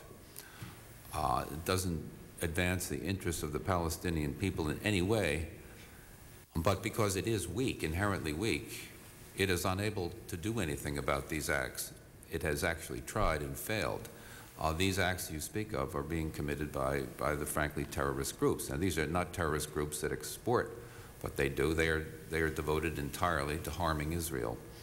But there's very little from here that we can do about it, other, in my opinion, except for doing what I suggested that we, that we do, which is restart the Middle East peace process. Well, I would take it that um, you would not indicate that, that you believe that the suicide bombings are, are, advancing the cause of a Palestinian state or, or, no, or no, they're, resulting they're, in a greater likelihood of, of, of, that occurring? I mean, it, it sets back, obviously, the- peace process, and when their occurrence is neglected in your comments as um, merely a responsibility of, of or um, the setbacks a result of Israel's reaction, uh, I, I think it, it doesn't provide us with uh, the information that, that you need to come to a conclusion as to what really the United States needs to be doing. Well, I would agree with you that the, the acts of terrorism committed against Israel are certainly from the, from the point of view of Palestinian interests are deeply counterproductive. Uh, as of now, there seems to be very little that anyone can do about that directly. The Palestinian leadership has been unable to do anything about it. The Israelis themselves are unable to do anything about it because retaliation simply invites more of the same. So it's a kind of demonic process that's going on. And as I, as I said before, I think there's very little, if anything, that the United States can contribute directly to heading it off, stopping it. Um, but I think the, uh, in, a, in a larger sense, by generating some stability out there and getting the sides together in a peace process, I think is really the only, is the only weapon available. In- your comments, you also talked about your concern about uh, the preemption doctrine um, having um, an impact and of exacerbating the um, threats to the United States, and and you you end in a paragraph where you have, "Terrorism may be contained if intelligence services and police agencies acquire the habit of cooperating closely and with each other in suppressing their competitive instincts and preference for acting alone." When the intelligence services and police agencies are cooperating, what action then would you think would result from that? Well, if they are cooperating, then I think we're in, we're in very good shape. The problem is, is, is getting intelligence agencies and police agencies uh, to cooperate systematically, uh, to cooperate systematically. Frequently they will cooperate. Although, for example, going back to, I think it was 84, the Los Angeles Olympics. Um, this may have been a first. Maybe it wasn't the first, but we do know that at that time, uh, the CIA and the FBI worked together very closely. They were, they were under a lot of pressure from the White House to do exactly that. Not only that, but they were cooperating with their counterpart agencies in other governments. So that when they look, so that in the days preceding the Los Angeles Olympics, the FBI was able to assure members of this body at that time nothing would happen. I mean, they, they categorically said nothing will happen at the Los Angeles Olympics. We've got these groups so penetrated, we know what they're thinking about before they think, or what they're going to do before they do. Uh, much the same thing has happened at other major events. Y2K was an example. Uh, well, the Gulf War, uh, when we rolled up something like 30, I think, uh, different plots to commit terrorist acts. The problem is when, when agencies, both within our country and, and, um, and, and in their dealings with other countries, uh, ramp up, in the phrase, for, to make sure nothing happens at a given time, the tendency then is, after nothing has happened and the event is over, is to ramp down and go back to the so-called stovepipe method, where information is gathered at one level, a low level, hard intelligence, if you will, and it, and it, and it drip, drifts upward to the top, and then it stops there. It isn't transferred, because knowledge is power. And an agency that has information that perhaps another agency doesn't have can use that, that information to advantage sometimes in the budgetary process. Anyway, it's counterintuitive to cooperate. Has been in the past. Thank you, Mr. Newhouse. Um, Chairman Shays? Thank you very much, Mr. Chairman. I am really eager to get into this dialogue. I love this panel. And uh, I think I'm, I guess I'm fascinated by the issue because we've thought for four years about this. You know, in, in, the, in the beginning, uh, Governor Gilmore, it was almost theoretical because, you know, we just didn't come to grips with it and fully until 9-11. But this is what I want to first start out with. After 9-11, the eight national strategies to combat terrorism, this is what I'm hearing from this panel, that after 9-11, the eight national strategies to combat terrorism are a good start, but there is more work to be done. And then Dr. Um, uh, uh, I'm sorry.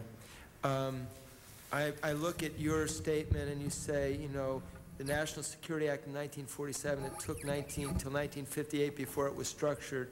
The structure was refined, and then you put in parentheses, and even then it was only partial. So, you know, we looked for a number of years before we had a reorganization that, that fit into this and a, and, and a sense of the strategy.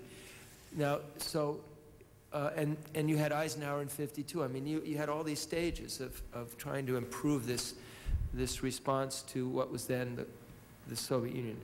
Um, so what I want to know is, you think this is a good starting point, if you all agree, um, and that we need, more work needs to be done. This is the areas that I sense you're saying. Integration among the strategies. Intelligence strategy, big question mark, because that was pointed out as not existing. Should there be an intelligence strategy, or is there one that we just don't sense? Ensuring there are national, not federal strategies. I think that, you know, Governor Gilmore, that was your point. Interesting concept of national versus federal. Um, and the need for more clear measures of effectiveness.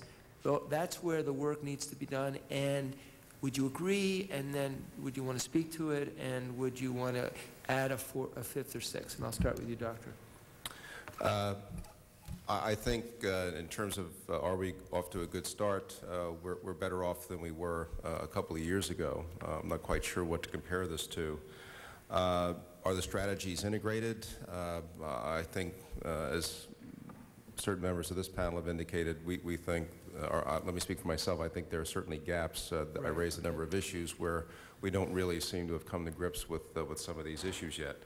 Um, do we need an, an intelligence strategy? Uh, I think uh, if, if we're going to do what Governor Gilmore suggests, uh, which I think is, is probably the way to get around the cost-imposing strategy that the terrorists uh, intentionally or unintentionally are pursuing, the way to do it is to get them as opposed to trying to provide an airtight defense of ourselves.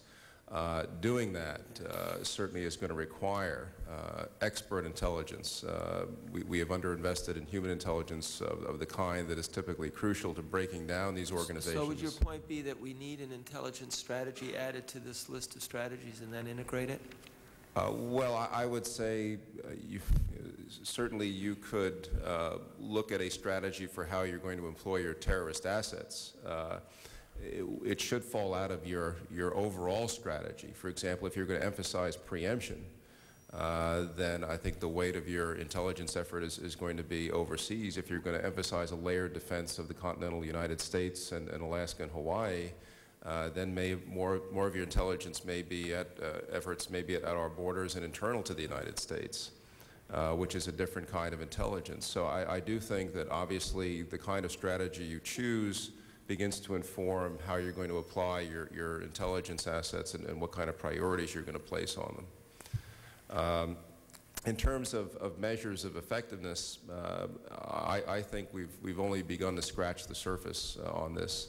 Uh, for example, uh, the, I think the, uh, the National Strategy for Combating Terrorism says we'll, we'll know what we've won when Americans uh, feel safe and secure and free of a terrorist threat.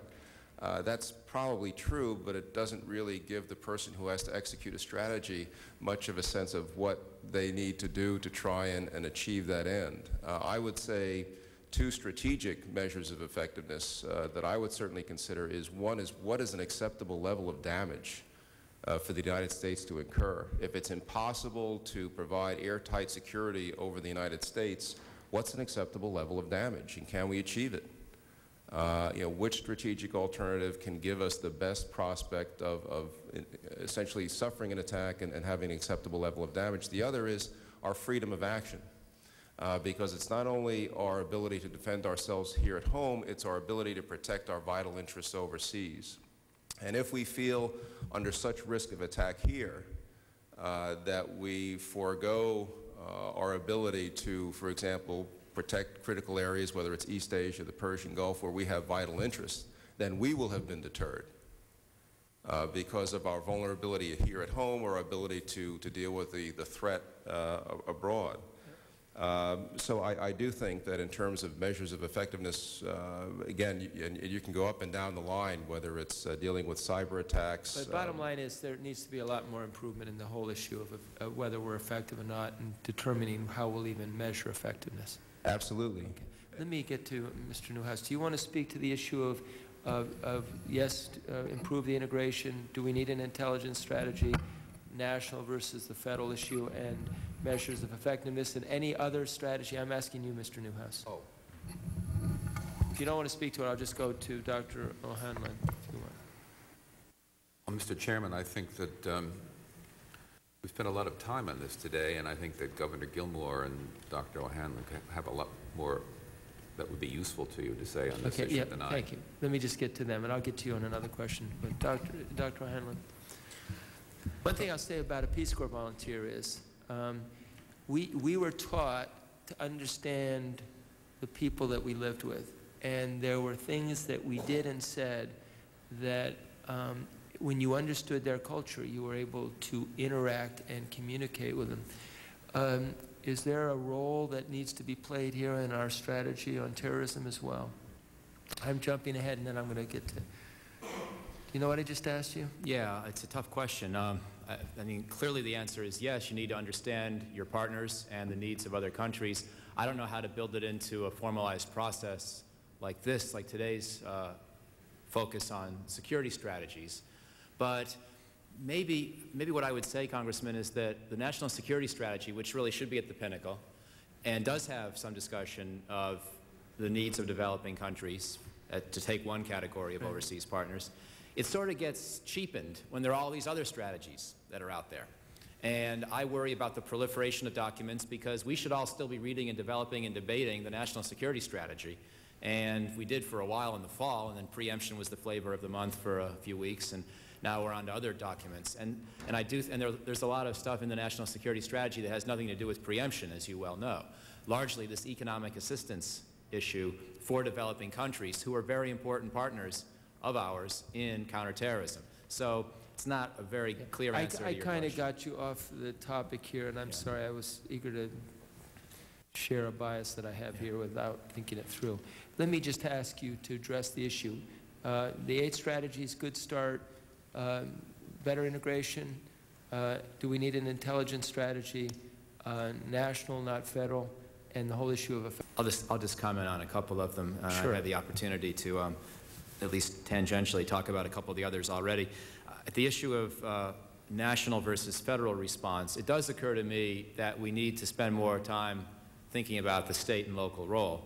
Um, obviously, Governor Gilmore has much more experience in this than I do, but I, for example, have some contacts at the LA City Council who are very concerned about the delay in the first responder fund uh, over the last year. And Washington, I think, let down the states and the local governments in having this, uh, having this stalemate on that. And one can look for different uh, people to blame, but the bottom line is I think Washington didn't get the job done until too late. And we spent a whole year when we should have been dealing with first responder capacity improving that, and we really didn't do much. In fact, I'm told that in LA City Council debates, advocates of doing more were often stymied because others would say, hey, Washington's going to help us pretty soon. We don't, we don't have to find the money. Just wait, and the 3.5 billion is going to start to come our way. And people who wanted to find local funds, therefore, had their own argument for finding local funds undercut by this promise from Washington that was not fulfilled for a full year. So uh, maybe we, you know, I hate to call for more strategies, but maybe we do need to get the, uh, the, the federal versus national distinction a little more prominent in our thinking and spend more time. I was delighted to see the governors uh, put some pressure on Washington a couple weeks ago, and I think we need more of that. I'll leave it at that for now. Okay. Um, Governor Gilmore, and I, I guess I'll take my next round to just talk about bi- the whole issue of multilateral, bi- um, unilateral, and this whole issue of uh, preemptive. Uh, Congressman, it is a good start. We didn't have a national strategy just before 911 of any kind. Uh, Now we have uh, eight strategies, and uh, I- I I guess I'd like to think about them a little bit, and our commission, I think, will think about all of them a little bit. I believe that'll be a topic we will address in this fifth year for the Congress and and for the President, and try to think through that. I think we should make sure they don't contradict each other, or that they don't uh, place different emphases, but uh, I think we're going to find that these are uh, supplement each other and that some of the strategies like the cyber and so on like that are points of emphasis, the military strategy for overseas. And I'm not sure that I see them as something that uh, where you have to try to conglomerate them into one overall strategy. I think it might work out all right, but we'll, we'll take a look at that. The intelligence piece is, is really tricky. This is very, very difficult. We have placed a great emphasis on this all of our five year, four years that we've been in existence and, and recommended that stovepiping be broken through and the fusion center be created and the culture of separation be broken down between all these different uh, agencies. The, the trick is that you do all that and you, you run the risk of contaminating the society by, by looking over the shoulder of regular people out there that are just trying to live their lives every day. So this is tricky. It means that you, we all believe that you have to do effective sharing of information to get at the bad guys. But at the same time, you have to find some method to not be looking over the shoulder of the good guys. This is, this is a very tricky challenge. National, not federal, absolutely. And I think that this is the real, maybe one of the focuses I would say to you, Congressman Shays. The, the danger here is that we're going to get so caught up with how you put the agencies together and the department together and you implement everything that we, that we don't, we lose some focus and momentum towards actually doing the things that are going to be necessary. I am uneasy with the idea that, that every witness that comes before you for the next year is going to enlist that vulnerability that he sees within his own state and then, of course, naturally demand money to go into that state to take care of that vulnerability. That's not a very good approach. Uh, instead, you have to find an all hazards type of approach, one that really focuses on enabling the states to create state oriented plans in cooperation with their localities so that instead of worrying about any individual chemical plant, you enable your localities and your states to observe that plant, all the plants, all the railroads, all the airlines, and to enable them to be watched in a, in a reasonable way and to respond if an attack does occur and to circumscribe the potential attack. The key issue is implementing that, really not worrying so much about the organization as implementation of the program to in fact get out here and to, and to get proper funding in accordance with a proper strategy, in accordance with a proper state plan, and then make sure that they're properly equipped, enabled, they know who's on first, and that it's properly exercised and ultimately measured. Mr. Chairman, I would love to come back when uh, the governor's had a chance if he has some follow-up question. I'd love to just get in the issue of preemption. Go ahead, and then I'll go. Is that all right, Mr. Chairman? Um, Dr. Krepinevich, do you agree with Dr. O'Hanlon that a policy of preemptive self-defense should be more implicit than explicit? Uh, I agree with him to the extent that, uh, in a sense, a, uh, the option of preemption is nothing new. Uh, for example, in the Solarium study you, you cited, uh, one of the three groups explicitly looked at conducting what was called a preventive war against the Soviet Union. President Kennedy explored in great detail and actually engaged the Soviets in discussions about a preemptive attack on China's uh, developing nuclear facilities. Uh, certainly President Clinton uh, debated with his security advisors the, the prospect of preempting, conducting a preemptive attack on uh, the North Korean reactor at Yongbyon. Uh, so this is not new. It's, it's, it's, always been an option in our arsenal. I, I think what, uh, so it's not clear that it's anything particularly new. Uh, I, I, think perhaps by stating it as, as, boldly as the President did, it, it might have garnered some un, uh, unwanted attention uh, on the part of the administration. Uh, on the other hand, I think it's, it's also necessary to point out to people that the, the last big threat that we faced, the Soviet Union, was a threat that we felt could be deterred. And, and so that was where we put uh, a lot of our eggs in, in the basket of deterrence. Uh, and that is why we had public statements of strategy, uh, because again, we wanted to not only, we wanted to get into the minds of the Soviets. Uh, we wanted them to understand that uh, any unacceptable action on their part would produce catastrophic consequences for them. Well, what do you do when you can't deter uh, a group that can inflict substantial damage on your country?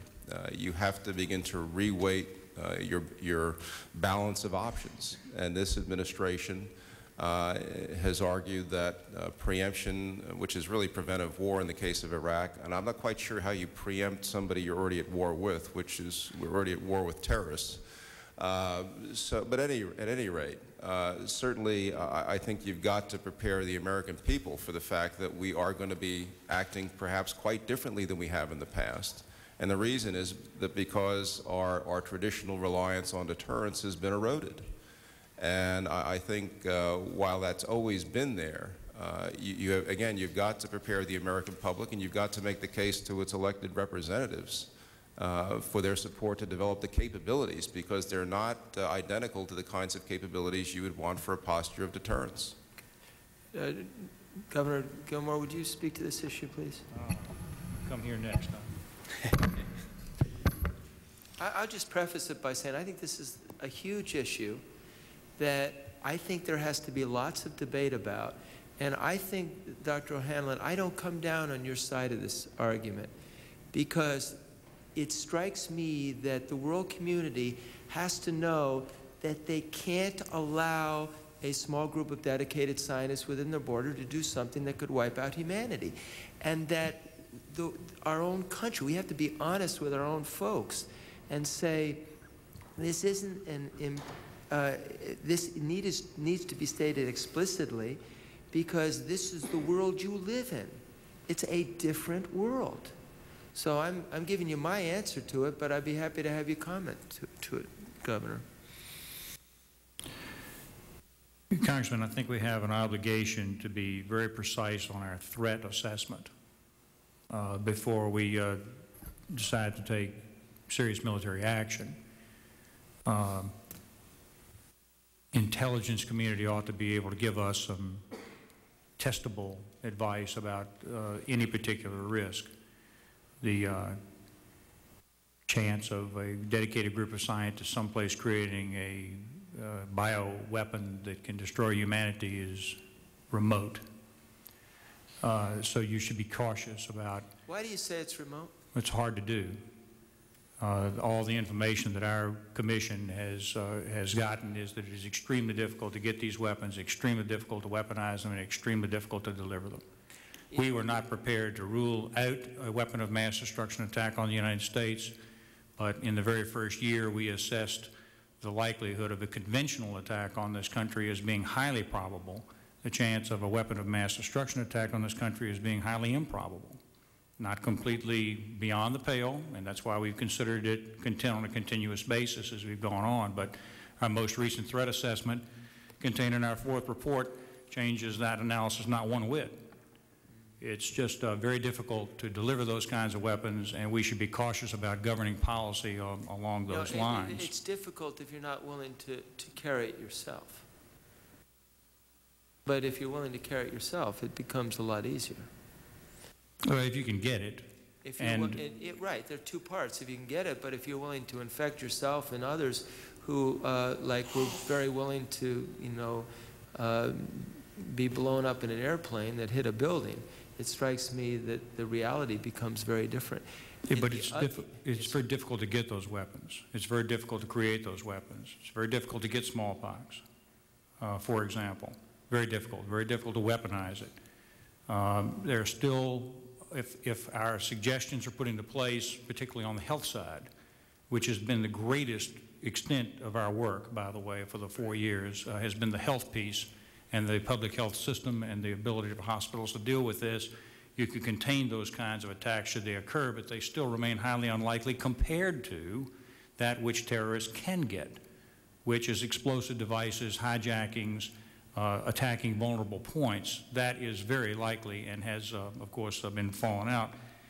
I think your question, though, is, uh, with respect to this, is I think 911 is driving and coloring the policy decisions that the Congress is making, that the, the executive branch is making.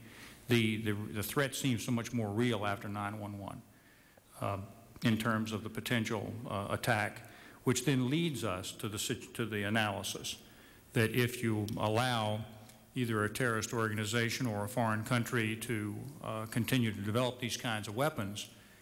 And with the visceral fear that we now have in America of this kind of attack, then that leads us more towards a policy of preemption. The notion being that, uh, that we can't allow someone to develop that kind of weapon and put us in that kind of position, even if they can't get the weapon here, which probably can't. Uh, they could get it around their neighbors and then in that position upset the entire balance of a major region where the national interests of the United States are at stake. This, I believe, is the analysis of the executive, of the President. Thank you. Thank you, Mr. Chairman. Thank you, Governor. Governor, do you have any additional questions? Thank you. Let me, let me just, if I can, pick up on where uh, Congressman Shays uh, left off and the comments that, that some of you panelists made. Uh, Governor Gilmore, it's extremely difficult to, to manufacture these. Um, There's no question about that. But when a state sponsors the research and the manufacturing, just exactly like has gone on historically in the Soviet Union, uh, what has gone on in North Korea, and clearly what's going on in Iraq. I mean, we can all argue, and we will continue to argue about what isn't, what is or isn't present in Iraq. But after the inspection started, uh, back in the 90s. And after several years, and after Saddam Hussein's son-in-laws came out of the country, um, and, and they and others talked about what was inside the country, all of a sudden the world, he, there was an admission. There was anthrax in the country in substantial quantities, very substantial quantities, and research going on. There was smallpox within the country. There was no candid admission, but I don't think there's been any intelligence service from any country that hasn't uh, uh, um, understood that there's been uh, smallpox research going on in, uh, in Iraq. Clearly, there was research with respect to ricin and, and some of the other types of weapons of mass destruction.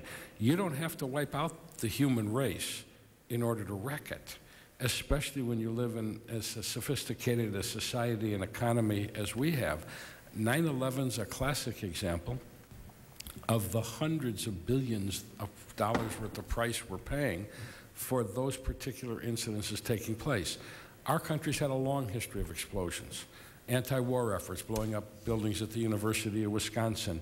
As I recall, the Symbi Symbionese Liberation Army, the SLA, uh, back a couple decades ago, and explosions they were doing, things that uh, uh, some other groups were, were involved in. Europe clearly had the Red Guard and all of the, those types of things. Japan's had the incidents in there uh, with respect to poisonous gas. But the point is, it doesn't take much in a society to, to change the standard of living, to change the culture.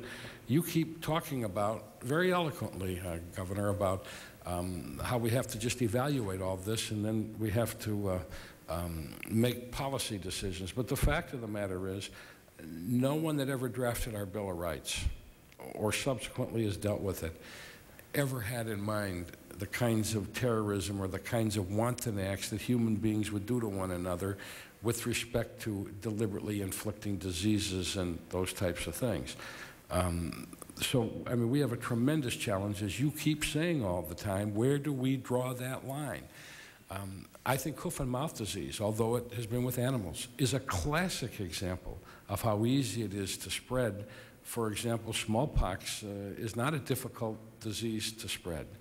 Um, clearly, it's done by contact, but to the extent people are as mobile as they are in today's world, um, it, again, if someone's willing to die, and infect themselves with smallpox and then willing to die, they can have a huge amount of contact with others uh, through airports and other places, uh, public arenas and what have you, before they reach the point where they're no longer capable of being a bomb themselves. So, after having said all this rhetoric, my question is to you and to you, Mr. Krepinevich, and, and, what is it where, what is it that should be expected of us? If you're a citizen out there, what is it that they should expect of us to be able to do? Is there anything we can do in the legislative sense, or is our responsibility to talk about it? What, what is it that should be expected of us? It's a very great policy question. I don't think that the American people should expect of the legislators that they're going to provide them complete security from all imaginable attacks and terrorism. I don't think the legislature can do that. Uh, it's unrealistic to hold you accountable for some diseased mind and some idea that somebody might come forward with. And you know, it doesn't even have to be a weapon of mass destruction. It can be a bomb in a local McDonald's in downtown St. Louis. It could be snipers. It could be East Coast snipers. It could be, people through and, you know, it- I think that we have to begin to go through the education process that says that we are going to assess the risk in a realistic way. We are going to uh, take the appropriate measures that are realistic based upon those threats, those realistic threats. And then we're going to get on with our lives uh, and understand that we're going to live like we, we have always lived. Uh, and I think that's uh, uh, part of the answer about expectations. Um, I mean, it's clear that, that you don't have to have weapons of mass destruction to, wreck this society. I think the society is on a hair trigger uh, right now, and I think that we need to back away from that a little bit. The uh, agricultural terrorism, by the way, I want to just throw in, since you raised it, Congressman, that we have a whole chapter here on agricultural terrorism. So we are not uh, excluding any possibility of a weapon of mass destruction, hoof and mouth disease, or any other type of potential attack. But we think there's an obligation to reasonably assess the threats in a realistic way, try to avoid, in a perfect world, I suppose, trying to guard against everything for fear that if you miss something and something bad happens, then some commentator or a newspaper is going to criticize you and say that you didn't think of that. That's what they do, though. They do, but you can't think of everything. No, no, And, uh, and we have to be, and we have to be honest about it with the American people, that we, they, we owe an obligation to reasonably assess the threats, put together a national strategy, make sure that all the resources of federal, state, and local people are drawn to it. We all understand what it is. We properly fund it, not crazily fund it, and then uh, put it into place and, uh, and, and build this. And then uh, explain to the American people that, uh, that a life has never been risk-free and go on from there. And, and ask them to live free lives, Thank you. as they Dr. always have. Krepinevich? Um, To come full circle, uh, again, uh, Congress has the, the responsibility of the purse uh, to provide the means. We can only spend them once.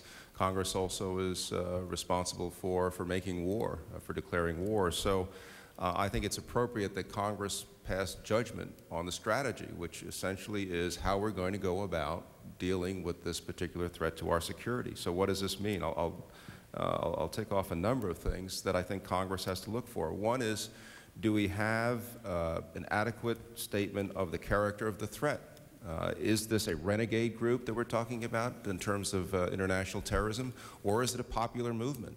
If it's a popular movement, then it takes on the characteristics of an insurgency. An insurgency is a popular movement that has got a fundamental level of support uh, among a, a specific group of population. If this is a movement in the Arab world, for example, or in the Islamic world, then it's, it's not uh, essentially a police action. Uh, it's an action that at some point, if you're going to get rid of this brand of terrorism, you're going to have to go after the root causes of, of why these people are doing what they're doing. Uh, and it seems to me their objective is to get the uh, United States influence out of their part of the world and, uh, in a sense, almost to do the impossible to keep the Americans from exporting their culture, uh, to stop being Americans, uh, in, in a sense. Uh, so what, what, what is the character of the threat that we're, we're dealing with? What is the goal? What do we wish to accomplish? What are the means?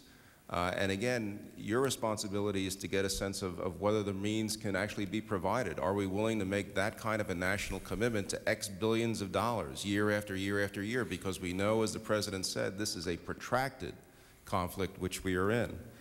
Um, methods, looking at strategy, preemption. Preemption, uh, strategists will tell you, buys you time. When the Israelis bombed the Osirak reactor in 1981, they bought themselves time. What did they do with that time? That's got to be a critical part of your strategy. What are you going to do with the time you gain through preemption? Uh, metrics. Uh, again, how do we measure progress? Uh, not just in one area, but in a number of areas. And I think that's, uh, in a sense, why we have these multiple strategies, uh, because we ought to have performance metrics. But, but sir, don't you think, and I'm cutting you off just a Sure. little because of time, but don't, don't you think when Congress, uh, when all of America focuses like they did after 9/11, which is, we all agree was a focal point for us, um, and then we pass, we start debating, we all agree we need a homeland security something, and then we get hung up, and actually Congress goes home for Christmas and everybody just takes time off while we discuss uh, civil service protections for people. Doesn't that really, and I, I'm not questioning the impact it has on individuals that are employed in the government. I, I'm not. But doesn't that really trivialize it for someone out there in Timbuktu, America, with respect to what it is, the sense of urgency we're trying to convince them we're dealing with? Well, And, and then we still haven't funded it. I, I mean, they're still out now. They're all screaming, "Where's the money? Where's the money?" We told them we would give them the money. We're not giving them the money. What? I mean, doesn't this really fly in the face of what we call a sense of urgency? Well, I think certainly there, there needs to be a sense of urgency. Uh, one of the political wags uh, opined that uh, the situation is critical but not serious. And uh, in a sense, you could argue that we, we lack that Where I come from, we call that a distinction without a difference. But uh, if you, again, the years 1945 to 1950, when we developed the containment strategy, we were not at war. We were not being attacked. Uh, we did not have military forces engaged in combat. Uh, we certainly need that sense of urgency. Uh, and I, I couldn't agree with you more.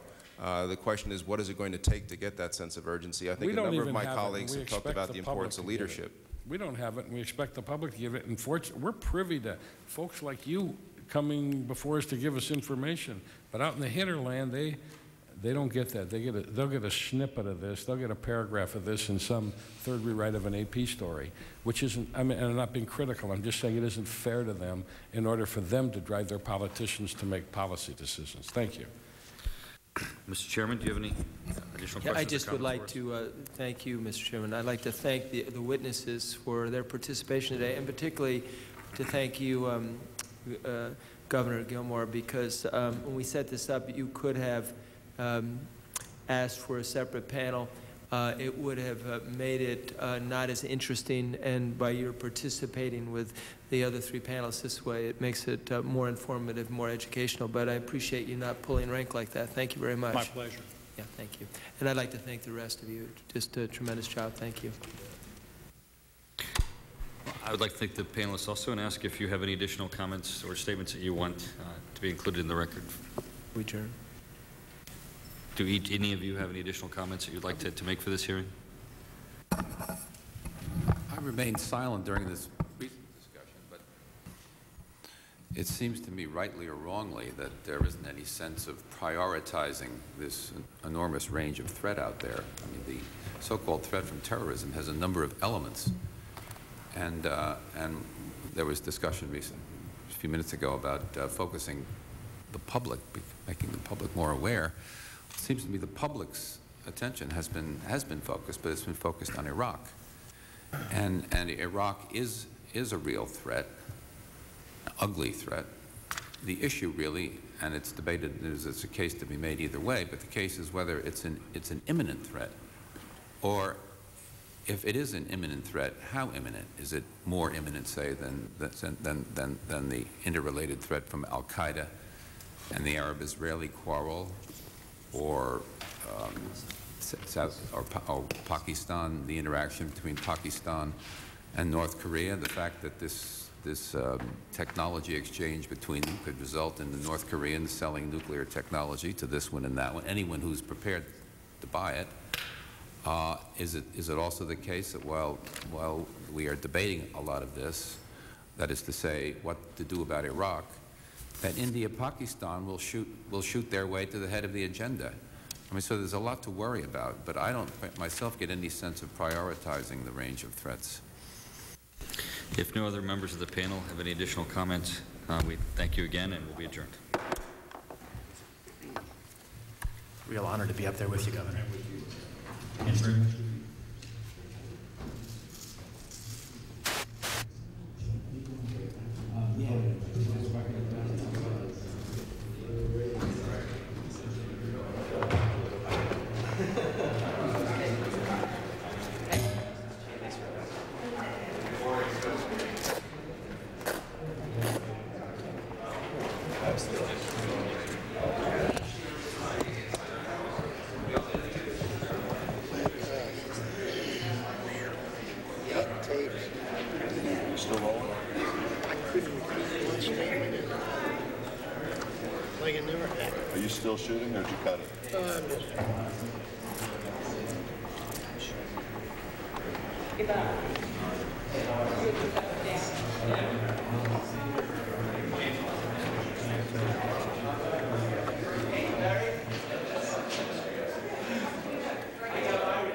information on U.S. policy towards Iraq, go to our homepage, cspan.org, and you'll see our special section dedicated to that topic, which features archival video, documents, and links to other related web areas.